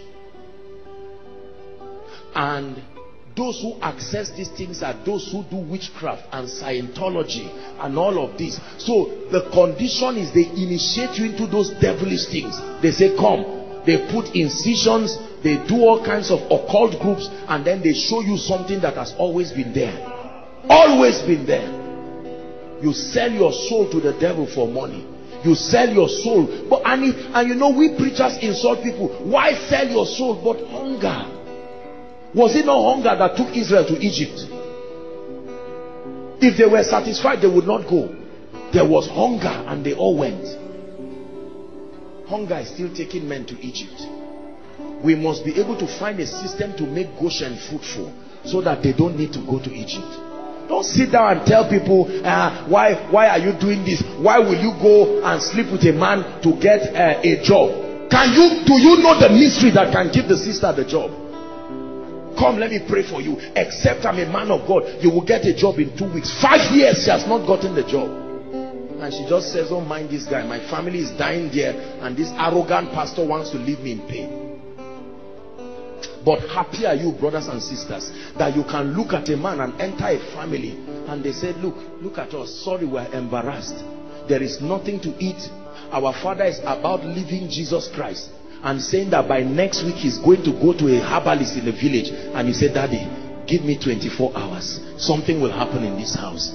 Give me 24 hours. And the man says you are a young boy. We did all this jesus thing those days in boys brigade. He said no problem. I agree with you sir. Just allow me. And within 24 hours something happens and the man calls you and says sorry i don't understand. I'm, I'm a proud man. I usually don't talk to small boys but sit down. And you tell him jesus is still the way Jesus is still the truth. Jesus is still the life. How about that my herbalist living? I brought you the reality. He said he gave it for our glory. Listen, hear me church. If we trivialize the desperation of men to see the glory of God in their life, we will lose our members to occultists. Did you hear what I said? Any pastor, any prophet, any apostle, any man of God that trivializes the importance of the members experiencing the glory of God, I guarantee you a day will come, our young men, our keyboardists will go to shrines because they must eat they must become they will become herbalists. Our ladies will go and fraternize with the gates of hell. We will be there jumping on stage dispensing all kinds of things. There are things that pertain to life and godliness not just godliness to life. Your child must go to school to life. Your child can be born again and not be educated and as a result your child will become a slave to every other person there are some of us everyone in your family works for someone they distribute them to go and be slaves You are 10 in your family. Nobody can stand alone. You, go and help this uncle wash his car. You, Abba. Your goodness is real. I testify your goodness is real. Your kindness is real. I testify. Hallelujah. Look at someone like Kenny. Look at this gentleman. I, I don't mean to make him feel bad. His dad has gone to be with the Lord. His mother has gone to be with the Lord. Everybody that can help him in life has gone. He's on his own. It's easy for a preacher who has food in his house to run your mouth and say you will make it and leave this gentleman. By the time he suffers his sister is crying everybody is crying this guy will get into gambling. He will get into occultism. He will get into every kind of demonic thing that's what we are, we are losing our members in church because they are not seeing the reality, the validity of what the word says. We are losing our ladies to ungodly people. We are losing our gentlemen. Our fathers are becoming herbalists, covenanting generations in shrines because hunger is taking them to Egypt. I will never preach a God who is not alive. It's a vow I made right from when God called me. I will preach a God that can be proven here and now. That he is not only the saver of souls he's the lifter of men. He's the anointer of men. He's the revealer of secrets. I love you too much. Some of you as you are hearing me now you check your phone and you see missed calls from your loved ones. We have not eaten for three days. Please if you're a man of god here let's take people seriously let's not just be acting games with people's destinies I bring you good news. There is a way out. There is a way out. There is a way out. We have orphans in this place. We have widows in this place. We have widowers in this place. It's not their fault that they could not be educated. Do you blame a child? Was it his fault? You see a woman of 60 years with her two children. There is no physical hope of any breakthrough. They are the ones who give us offerings and we collect as men of God. They are the ones who carry their last money and kneel down and give us. Our job is to collect and eat. Let me tell you, God will soon start punishing us men of God who are collecting people's offering and not giving them the truth that will lift them. After service, I can stand here and some of you will carry your last money and come and give me and I will collect and go back. Woe betide me if I don't teach you the truth. It's not fair. We keep destroying people's destinies in the name of church. Look at how many young men sit down and they are asking, man of God, you are established. Me, I'm not. Show me now so that both the sower and the reaper will rejoice. But I keep telling you, you just keep sowing in my life and sit down there while I am enjoying it. As I'm talking to you now, my food is ready. Some of you, you love God, but right where you are, there is no food for you to eat. How long will this continue?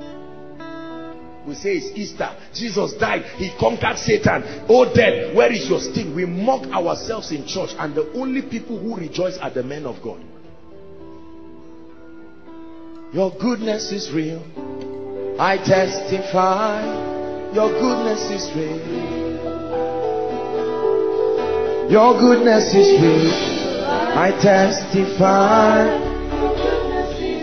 Listen, gentlemen, let me teach you something there are things you can learn. You will bring one song, one song, not ten songs.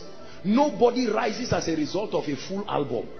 There is one song that comes from, there is the one you compose that your worship teammates will clap for you. And with it, they will invite you to two or three ministrations and you go back as usual. But there is one that comes from the throne. You will sit down and hear them playing it in Africa. And you will mint money as if you are a charmer and God says that's not the issue. I'm just proving to you that everything from above is above all. There are some of you there's one idea that this mystery can bring. You go and meet someone and say sir this is it and the person says because of this come I will read the Bible look at modern history and see people's lives change when you hear some of the songs that Hillsong write, look at the young guys. They are not even neatly dressed. You know that this one is the grace of God upon a vessel. You ask them to compose songs by themselves and see the rubbish they will write.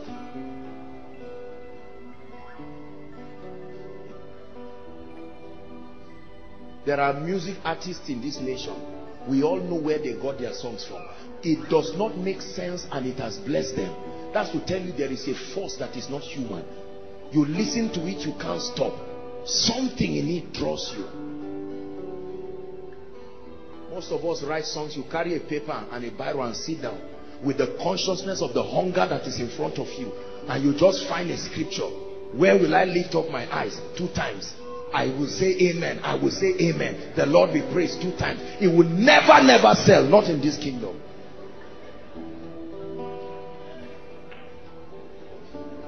If, if, listen, you are laughing. I'm very serious with what I'm saying.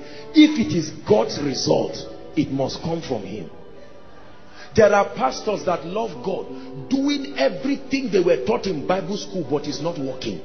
Because the forces that keep men down the forces that keep men down can only be dislodged by an intelligence that is not earthly. As for me, Joshua Selman, I have made my choice that this is how I'm going to live my life. My life is too risky to be human. This, the earth is too wicked for me to live just as a human being. I must live as a divine being because it is he that cometh from above that is above all. Are we together? We have doctors here. If you follow the normal course, the thing they are doing in Shika, you will never really rise. Because one day you will see somebody who will look at you and say, Dr. David, I know you are qualified. Dr. Halima, but because you are not from my village, I sit on your destiny. I am Professor this and that. And he says, all right, sir. You go back and engage this mystery and come out. And in his presence, he will sign you as you are rising. Tomorrow he will come in the dedication of a foundation and you just say, ah, that is, a, is my own. I wanted to tell you that I didn't stop rising after all of your mockery, my God is still alive. Listen, don't you dare laugh at any man that understands what I'm saying. They may carry their 200 naira trouser and surprise you. I bring you a message of hope, brothers and sisters. This storm that rage over our families will not rage forever. There is a way out. This Easter, there is a way out there is a way out the way out is to be able to access this hidden mystery now sit down let me explain to you the last thing and then we'll pray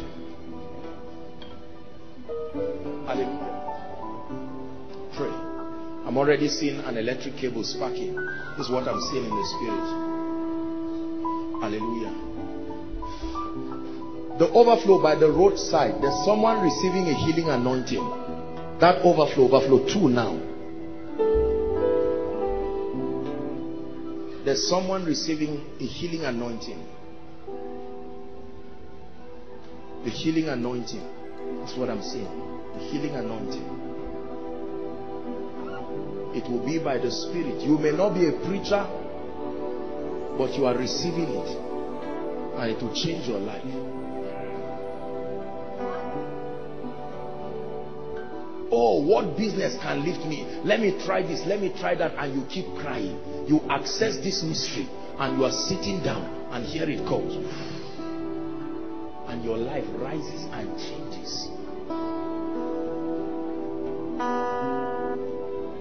I know a woman years ago she she got into Coca-Cola business and the only reason why she got into Coca-Cola business was because she was just sitting down according to what she told me. And it was like a vision.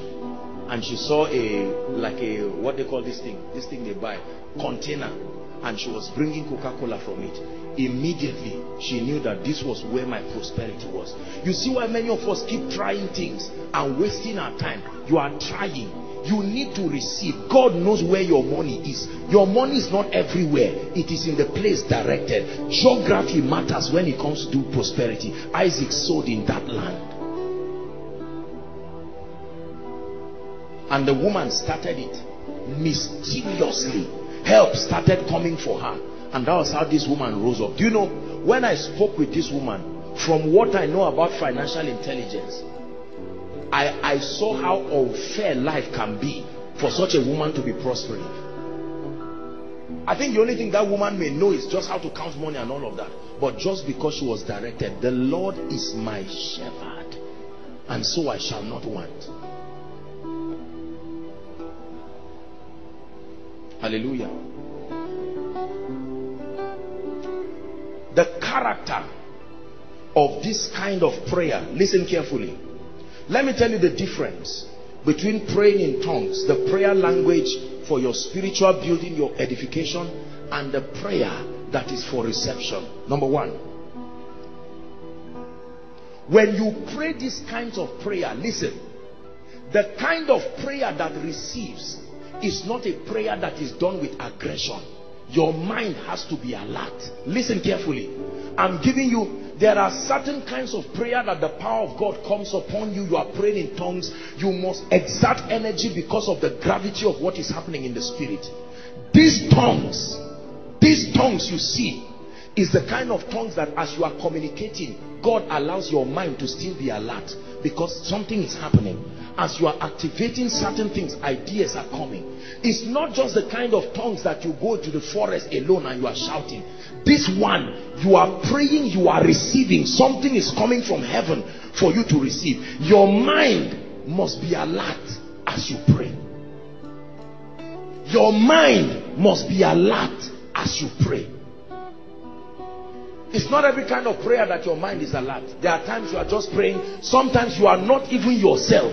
Five hours will pass, you don't know. Because there is a dimension. But when you are praying to activate this mystery, your mind must be alert to receive that which God is bringing. Number two, listen. Everything received must be documented or preserved immediately because of the nature of how spiritual things are. Listen carefully. Spiritual things are very volatile. You can lose a spiritual information in five minutes and it will take the grace of God to receive. Sometimes it can be a vision. That vision, you can't understand it immediately. So you find a way of preserving it. My phone is full of voices of encounters. Sometimes I'm praying and the things I'm seeing, I start recording immediately. Because I know if this thing sleeps, it may not come back again. I, is somebody getting this now? Most of you, when these kinds of things happen, you say, no problem. Let me finish my three hours prayer and it leaves. Never comes again. That was a five years breakthrough that just disappeared in one strategy. You see why prophets were writers. When I'm praying, I pray with my books. My Bible is on my hand, my phone, everything. Because there are times I will need to draw there are times I will need to quickly write. There are times I will need to record. I get up in the morning. I, I found out that sometimes writing is too slow. How many of you have gotten up and you literally had seconds to preserve something? Seconds. If it escapes that second, Sometimes when God is merciful to you, he will draw you to start praying. You think you are just praying. You are repeating the same thing. And there the dream comes again. Are we together? Let me tell you something. I have gotten information in pieces that the complete picture came within the span of three years. Spiritual things are very strange. You can get one part, you need to preserve it because you will need that part. The other part will come December the next year. And then the last piece comes January. When you piece three of them together, they equate a dimension of breakthrough that your life will never recover from. So when you are praying these kinds of prayer, you can go to the place of prayer knowing that my purpose of prayer is to receive a strategy. I'm going there. Lord, I'm going to receive. And all of a sudden you are praying.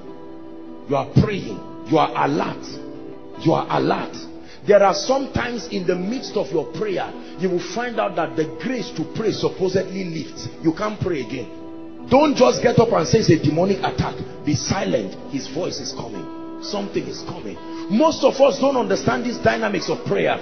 There are times you are praying and you just feel like sitting down somewhere. Help them please. And you just sit down somewhere quietly. Like a zombie. You are even afraid because you don't want people to think that you came and you were joking. You see the mistake we make. When we get to the place of prayer, we just shut the door and make sure everybody around is hearing us to justify our spirituality. We are cheating ourselves of dimensions. There are times you can go to pray and for two hours nobody has heard you. You've not even started the prayer. You are sitting down and for two hours you are like a librarian dictating mysteries that you yourself don't understand. One day God will say, remember what I told you. Go to your book, page 75. Check the last column. That's the answer for what you are looking for. There are times that I've gone to make reference to books, things I wrote 2008, 2009. I just remember, I've seen this image somewhere and God says, remember, I go and look for the book. I remember when Koinonia was going to start. That's when I remembered that God had revealed that thing to me 2005. And now when I was searching the book, immediately I opened, I saw everything revealed verbatim.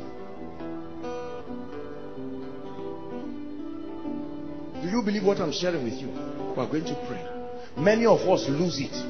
Listen to me. Every time you stand before a challenge and you want to pray, don't just go and wail. Oh God, you too, you know how we are. If you don't arise, you can cry, you can do everything you want to do. But the moment you pray, do you know many times you will see your prayer alternating? You know that the last 30 minutes was warfare. The next 30 minutes is not warfare. That, that prayer, they all have their characteristics. You can know that I was praying for two hours, but the last 20 minutes of that prayer is this one is, is a serious warfare. What is happening? You thought that after two hours it will go, and all of a sudden a grace for prayer comes again, and you can push through another two hours. There are times you go to pray, you cannot even reach 20 minutes. If you are not careful, you will think you are backsliding. It is the context of the communication of the spirit. Religion is a dangerous thing. It will destroy your prayer life. There are times I've sat down to pray oh, from morning till evening and I'm unable to say a word. Highest worship is just praying. I want to get up and maybe the only thing I can say in that prayer session is thank you Jesus. Thank you Jesus. I give you all the praise. Thank you Jesus. Here it comes. I'm writing. Thank you Jesus. Okay, teach these people this. Thank you Jesus. Your people don't understand this. Thank you, Jesus. The way to go about this is to do A, B, C, D. Thank you, Jesus. Okay, don't worry. I will reveal to you the answer during leaders meeting. Thank you, Jesus. They that are led by the Spirit of God. You see, when you understand what I'm teaching you, you will not only command signs and wonders, your life will be a sign and a wonder. We win in life by strategies. If Naomi never went to the farm of Boaz, she would never marry. Marriageable, but no strategy. If the walls of Jericho, the people carried their sword and tried to bring down that gate, they would have slaughtered them like chickens. Just the arrows from the watchmen would kill them and destroy them. It takes strategies to win. You have dreams. Where is the strategy? When I meet pastors, they tell me their message, but they don't tell me the strategy. God said, go and raise me a people. Where do you think these people are? And how are you going to fulfill that mandate? A friend called me and he said, um, I should advise him, is it right? Wonderful friend that I love. He said, is it right for him to continue raising offering in church? I said, well, I don't have a problem with it, but go and find out how God designed the finances of your ministry to run.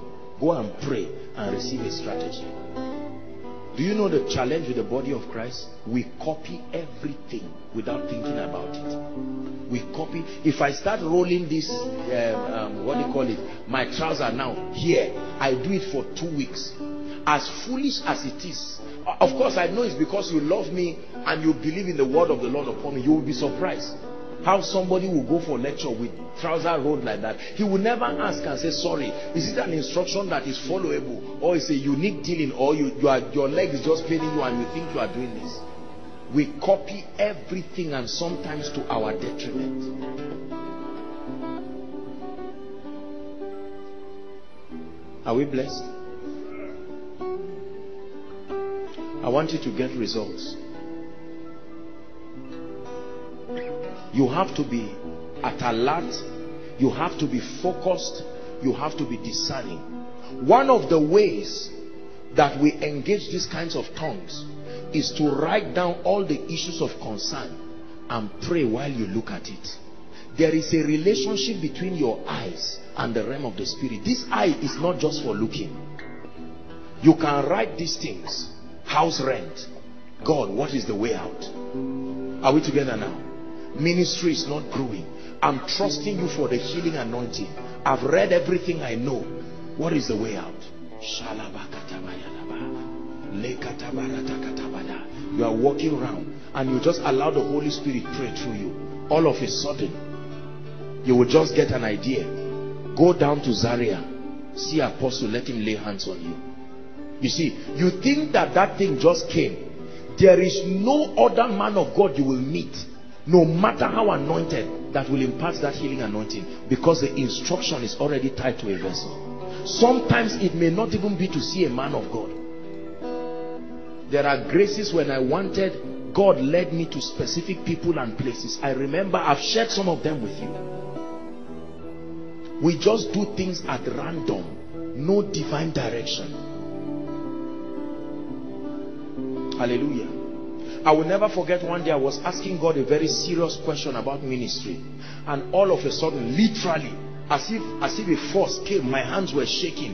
And before you knew it i still don't know the name that i typed. A youtube video. Enter. And all of a sudden one old old gray baba just appears like this with one 25 minutes message. And i listened to it. That message changed my life. I searched for other videos the, the message did not even finish but it contained my answer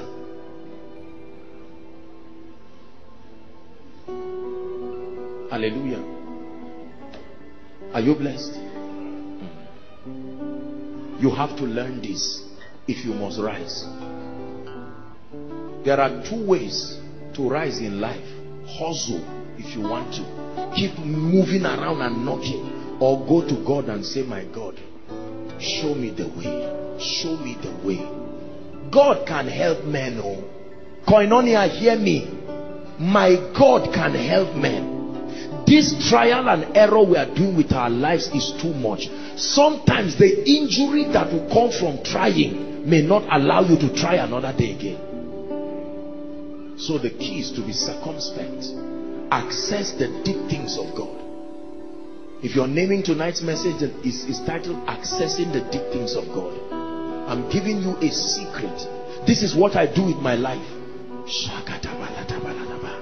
Lord, I thank you. Sometimes a scripture is coming. Sometimes the voice of God comes for you. Sometimes a mystery comes. Sometimes an instruction comes. You see that? God can give you all kinds of foolish instructions, let me tell you. Do you know there was a day, I do this every once in a while, but there was a day God instructed me. I was just lying down. I, I wasn't asleep and I was praying. And all of a sudden I just sensed the anointing. And all of a sudden, the Spirit of God told me, stand up and lie down flat on the ground. Like, get up from your bed oh, and lie. Imagine if somebody opened my door. He said, this is it. I've, I've, I've always known that this guy, there is something occultic he's doing. And you would think as I lie down, I will feel one ghost. I saw nothing. I had nothing. I lay down like that for about maybe 20 minutes. Honestly speaking, I even started sleeping small. And later the voice just came. Go to bed. Go and sleep. The next meeting that we went, I can't remember where. I saw a dimension of the grace of God that I couldn't understand. I said, what happened? And God told me, while you were lying down, your something was happening to you. You don't have to feel it. You believe it. God is not a fool. This how some of you can be there. Lord, who is going to be my helper? And God says, come out in front of your house and just stand for 15 minutes. The natural man. Lord, what I'm, I'm educated. And you stand there 10 minutes.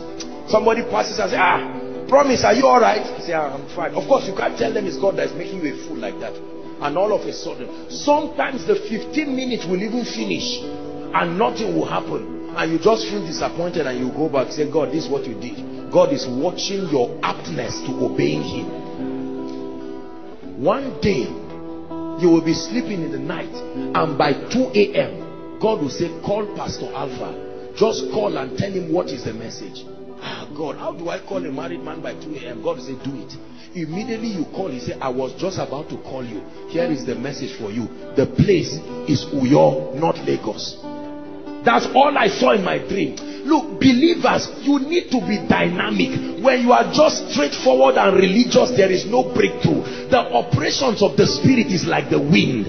You can't tell where it's coming or where it's going. So is one who is led of the spirit. There are people here who came from Lagos because they were praying, Lord, what do I do with my life? And God says, stand up, come to Zaria. They can't tell you exactly why they are here. That's why when you ask them those questions, it's difficult for them to answer. They don't want to look like they are stupid. Sometimes they themselves think they are stupid, but keep watching God. There is a mystery working out. Then you will see the glory and the beauty. Why will God tell you to leave Lagos? This gentleman left Ghana and came. Help that lady. I said Lagos and truly, truly, she fell under the anointing. Praise Someone gets up and is enjoying oil money in Port Harcourt. And God says, stand up and go and do two weeks in Zamfara.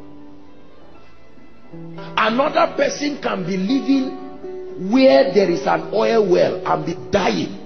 Whereas his money is in Sokoto. As dry and harsh as the weather is. Your prosperity is where the voice of God is for you.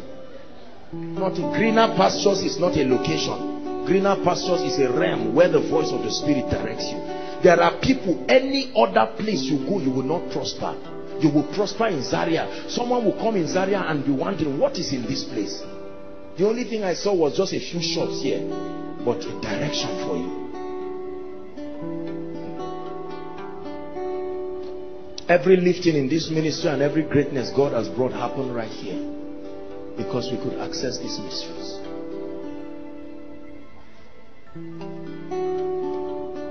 Are you ready to pray? We are going to pray. Sit down. You're not going to stand up. Sit down.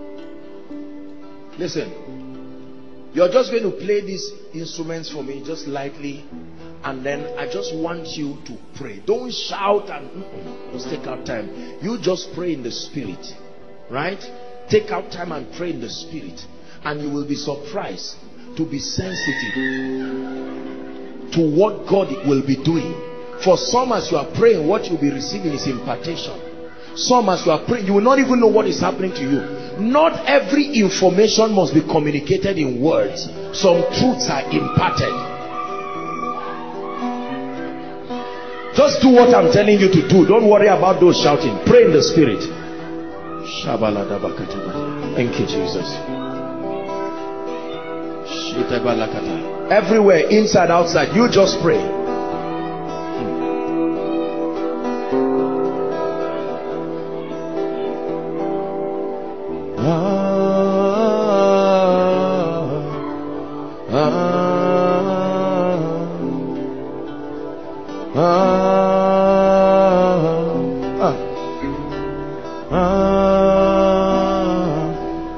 The spirit.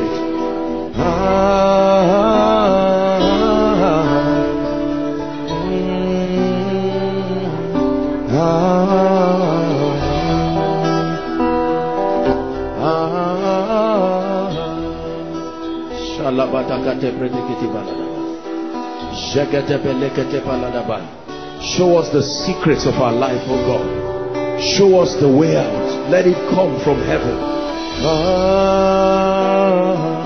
Some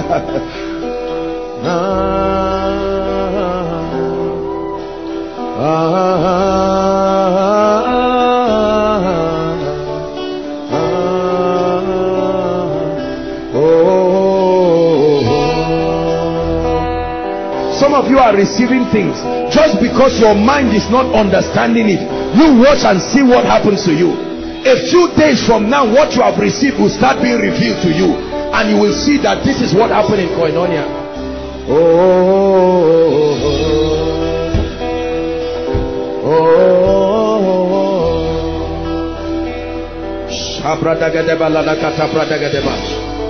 Lord, what is the way out for my business? What is the way out for my family? Lord, what is the secret to addressing this barrenness? Lord, what level of unction do I need for this ministry?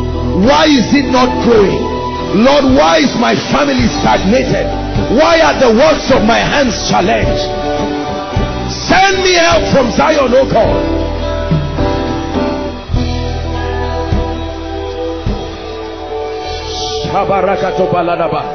Just pray, Koinonia. We're soaking in the glory. Everyone pray in the spirit. Lord, why is my CGPA refusing to rise? What must I do? I have studied, I've done my best.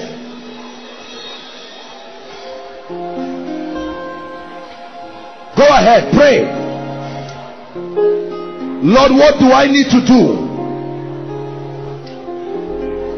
Where is my finances, oh God? Where is it? Where is the key to the next level? What is the formula for my establishment? Lord, how will you bail my family out? Do I just meet anybody? Should I meet a particular helper? If yes, what is the name? Who is the helper? Is he in Zaria?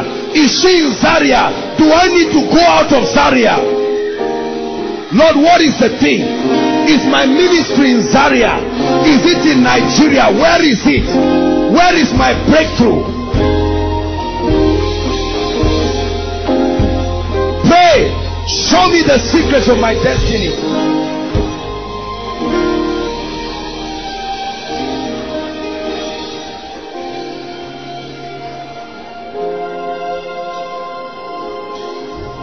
Go ahead. We are not wasting our time. I, I guarantee you. The Bible says the natural man, the natural man. Some of you in the silence, like the dew of Hermon, ideas begin to come. That poultry is my will for you. Don't stop it. That public speaking, you are about to give up, but it is where your finances is. Don't stop. It looks like your church is not growing, but you are called. You just need an upgrade of the anointing answers coming from heaven. Spirit of the Lord, we ask you, search for us the deep things. Search the mind of God concerning our destinies, concerning our families, concerning our ministries, concerning our homes.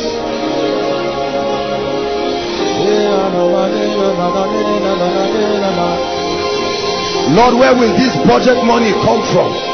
there is no human way it is going to come but I know that thou art the fountain of wisdom it is in your light that we see light show me show me open my eyes I am tired of doing what everybody is doing I'm tired of failing like everyone I'm tired of saying yes to just anybody open my eyes show me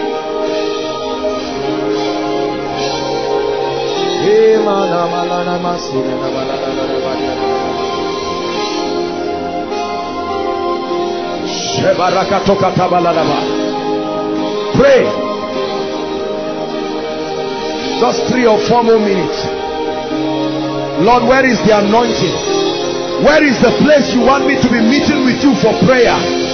Is it my room or do I need to go out of my house every night? What is the timing? What is my time of receiving revelation from you? Is there a unique time you want to give me? From 12 to 2 every day. Is it a time you are giving me? It may not be so for everybody. But what time have you allocated for my visitation? Do I need to fast once every day? Do I need to go on a dry fast? What do I need to do? Do I need to dance for seven days? Show me, oh God, there has to be a way out. Why are my heavens closed? Why do I fast and pray and yet nothing happens? Why are the nine graduates in my family jobless? Show me. Then the secret was revealed unto Daniel and Daniel blessed the God of heaven.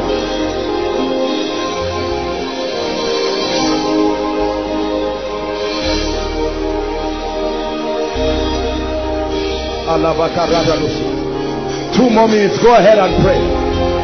Open my mind. Open my mind. Open my mind.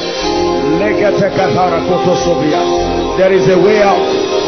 There is a way to the wealthy place. There is a way to the anointing. There is a way to influence. There is a way to access the mysteries of the kingdom. There is a path which no fowl knoweth. The wealth of the lion has not trodden there.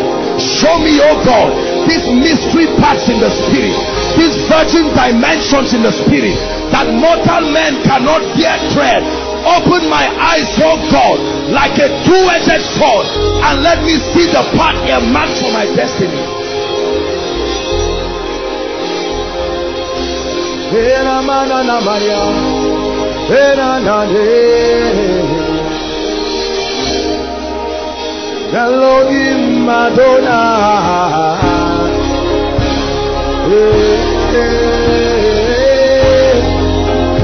Elohim Madonna. Ebalakatabarakatabasadabalagadea. Eketaya. Elohim Madonna.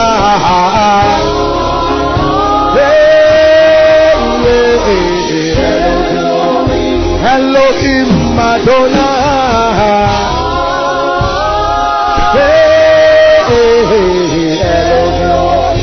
Elohim Madonna. Elohim Madonna. Elohim Madonna. Madonna. Elohim Madonna.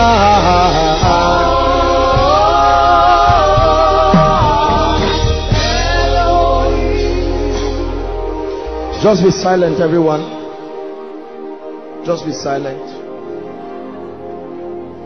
Just be as silent as you can. Wherever you are, just be silent. The Lord is putting something in your spirit.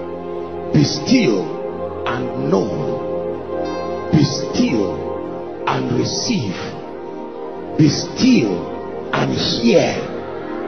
Be still and enter. Be still and you will know. Just be silent for two or three minutes. God is doing something in your life. Answers coming as words, as impartations. Be still. Some of you, God will be saying, Don't waste your time in that direction. That's not the path for your life. Don't waste your time. Be still.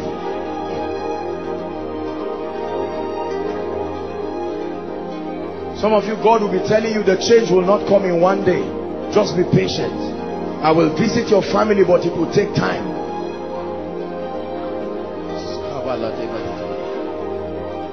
Please be patient. Just be patient with me a few minutes and we're done. Be patient. Answers are coming. Think on your business while you are standing. Think on your family while you are standing. Think on your ministry while you are standing. Answers are coming from the throne. Coming from the throne. God is telling you, I will raise help for you. It will not be with your resources that you will make this happen. The helpers are coming. The helpers are coming. The helpers are coming.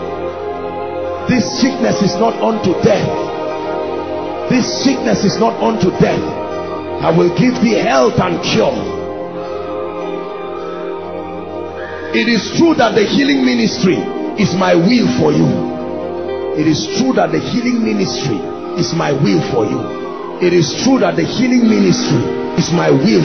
It is true that the healing for you, healing ministry, the healing ministry, you will walk in it. It is true that the healing ministry is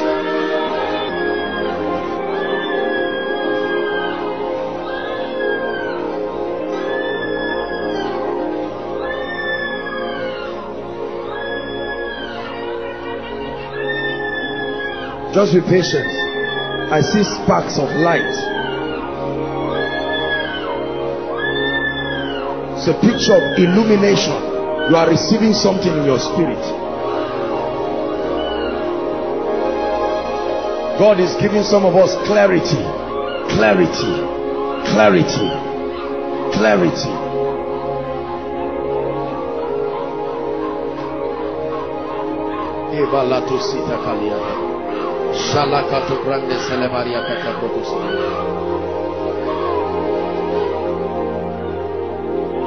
In the name of Jesus Christ, I stretch my hands and I pray for you.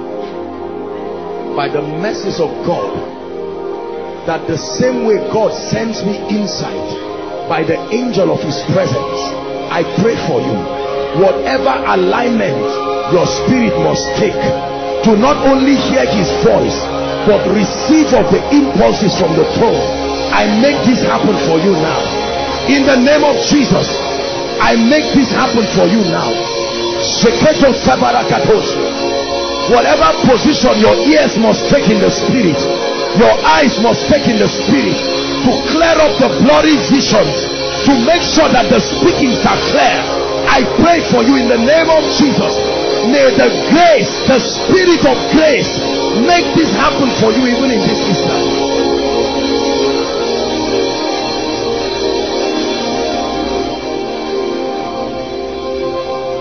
supernatural ideas innovative ideas supernatural strategies the strategies that force things to work. Some of you this week will not be over until you begin to see the fruits of superior wisdom. This week will not be over until you see things that will marvel you happening by the spirit of God manifesting by the finger of God. You will apply the things that you are receiving and you will watch it work it was not supposed to work but because it came by his voice you will see it rise. I say to you you will see it rise. I speak to you that you will see it rise.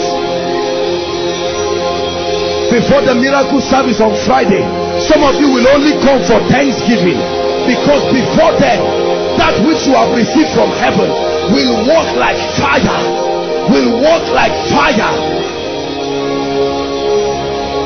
Listen there are some of you the next meeting you will go for as a man of God you will be surprised to see the dimension of the operation of the gifts of the spirit. You will go for your meetings and God will give you epochal revelations. You will command the realm of the spirit at your beck and call in dimensions that you will be afraid of. And that one experience will open the doors of finances open the doors of ministry increase membership bring increase for you.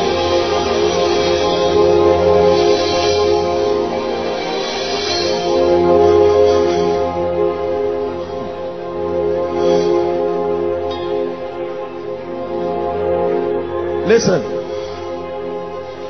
there is a reign of wealth and prosperity that is coming upon this ministry. You hear me as i speak? I don't just talk about money just because no no no no there is a reign r-a-i-n of a dimension.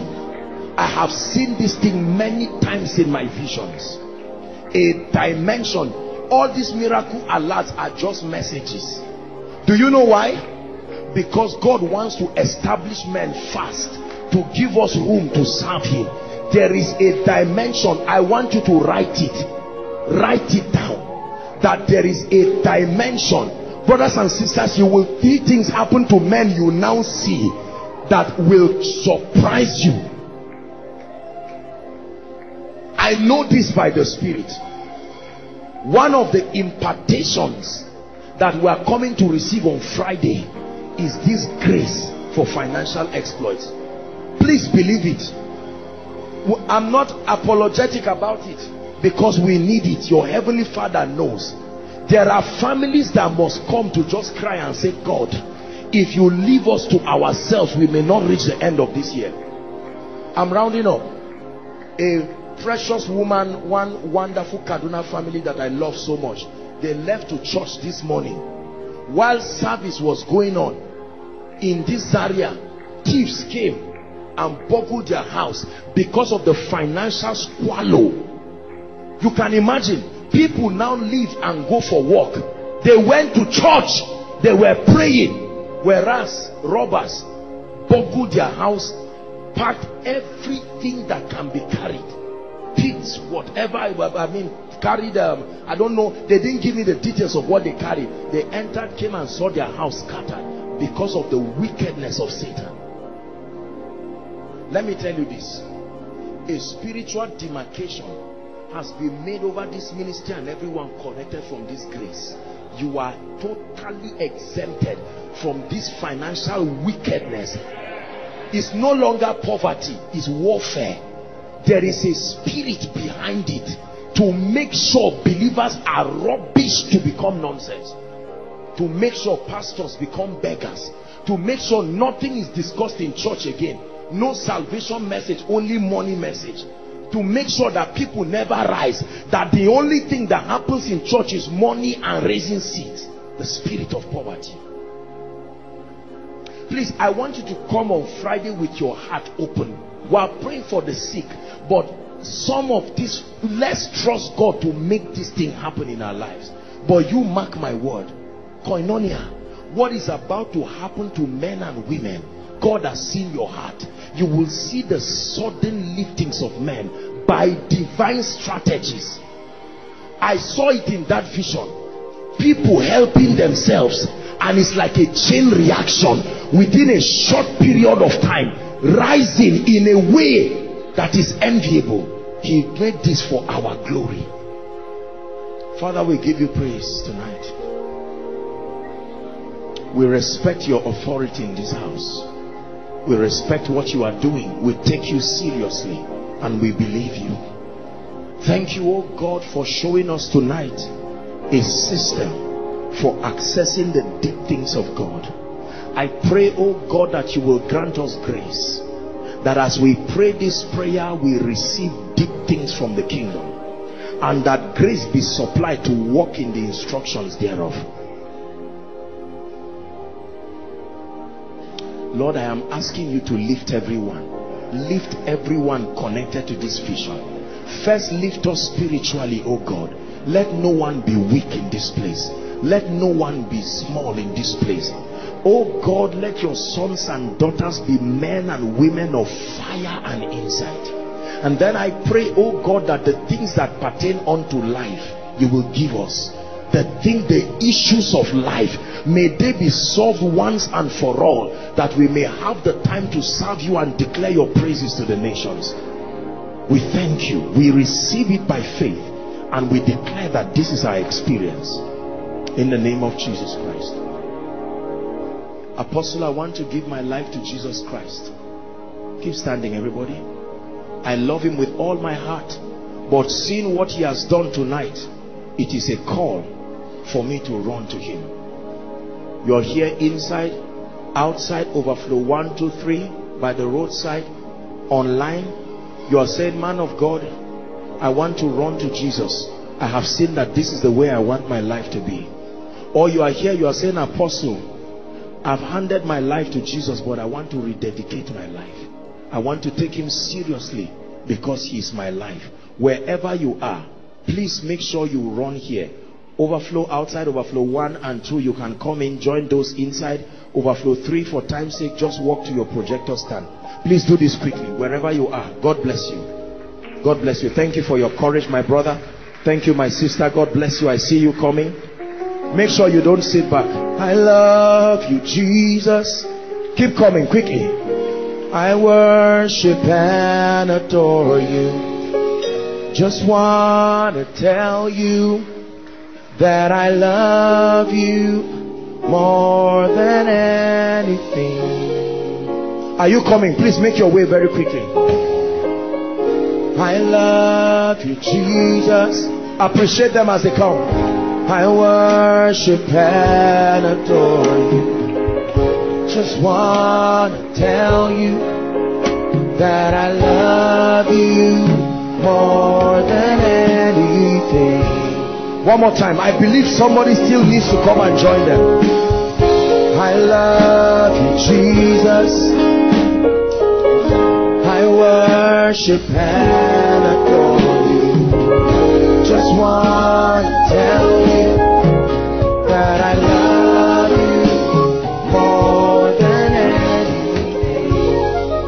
Hallelujah. Those in front and those at overflow 3 and those online, all of you, please say this after me. Come join them, darling. Quickly. Say, Lord Jesus. Say from the depth of your heart, say, Lord Jesus, I believe in you. that you are the Son of God. I believe you love me. I believe you gave your heart, your life to set me free. Tonight, I receive of your life. I receive righteousness. I receive all that you have done for me. And I declare that I am a child of God. The life of God is in my spirit. I declare that you are my Lord now and forever. I declare that the Spirit of the living God comes into my life tonight and He's with me forever. Thank you, Jesus. Let me pray for you, Father. Thank you for these precious people. They have come in honor of the call that you have made over their lives and destinies. Lord, preserve them. Validate this declaration that they have made by faith by granting them access to the Spirit of truth, the one who can search the mind of the Father. I pray that you make their lives beautiful. Produce the Garden of Eden out of every wilderness. In the name of Jesus Christ. Amen and amen. Now, thank you so much, gentlemen. I want you to follow the gentleman waving his hands. All of you, please go ahead, follow him. Appreciate them as they do so. Same thing for those at Overflow 3. Hallelujah. Praise the Lord. Thank you so much for your patience. Um, just give me a few minutes, three, five minutes, and we're done. This is your first time worshiping with us, aside from those going out. Your first time here at Koinonia. Um, it's a special service. We're doing it on Sunday. Usually our services are Fridays. But um, aside from Overflow 3, if you're here, Overflow 1, 2, and inside, you're most welcome. Please make your way to the front. It's my joy and honor to welcome you very personally. Please appreciate all those worshiping with us for the first time. God bless you. God bless you. Come boldly, come boldly, make your way. Please clear the way for them outside, those who are coming. Some of you have come from very, very far. Some of you have come from within town. You are most welcome. All those following us online in whatever nation of the world, whatever time zone it is there, we love you. We bless the Lord for your life. Thank you so much for connecting with us. The same grace at work here will work in your life. Let's honor them one more time, everyone. Bless you. Bless you. Thank you for watching our entire video today. If you feel you can bless someone, please join us and spread the gospel by sharing this video on your social media.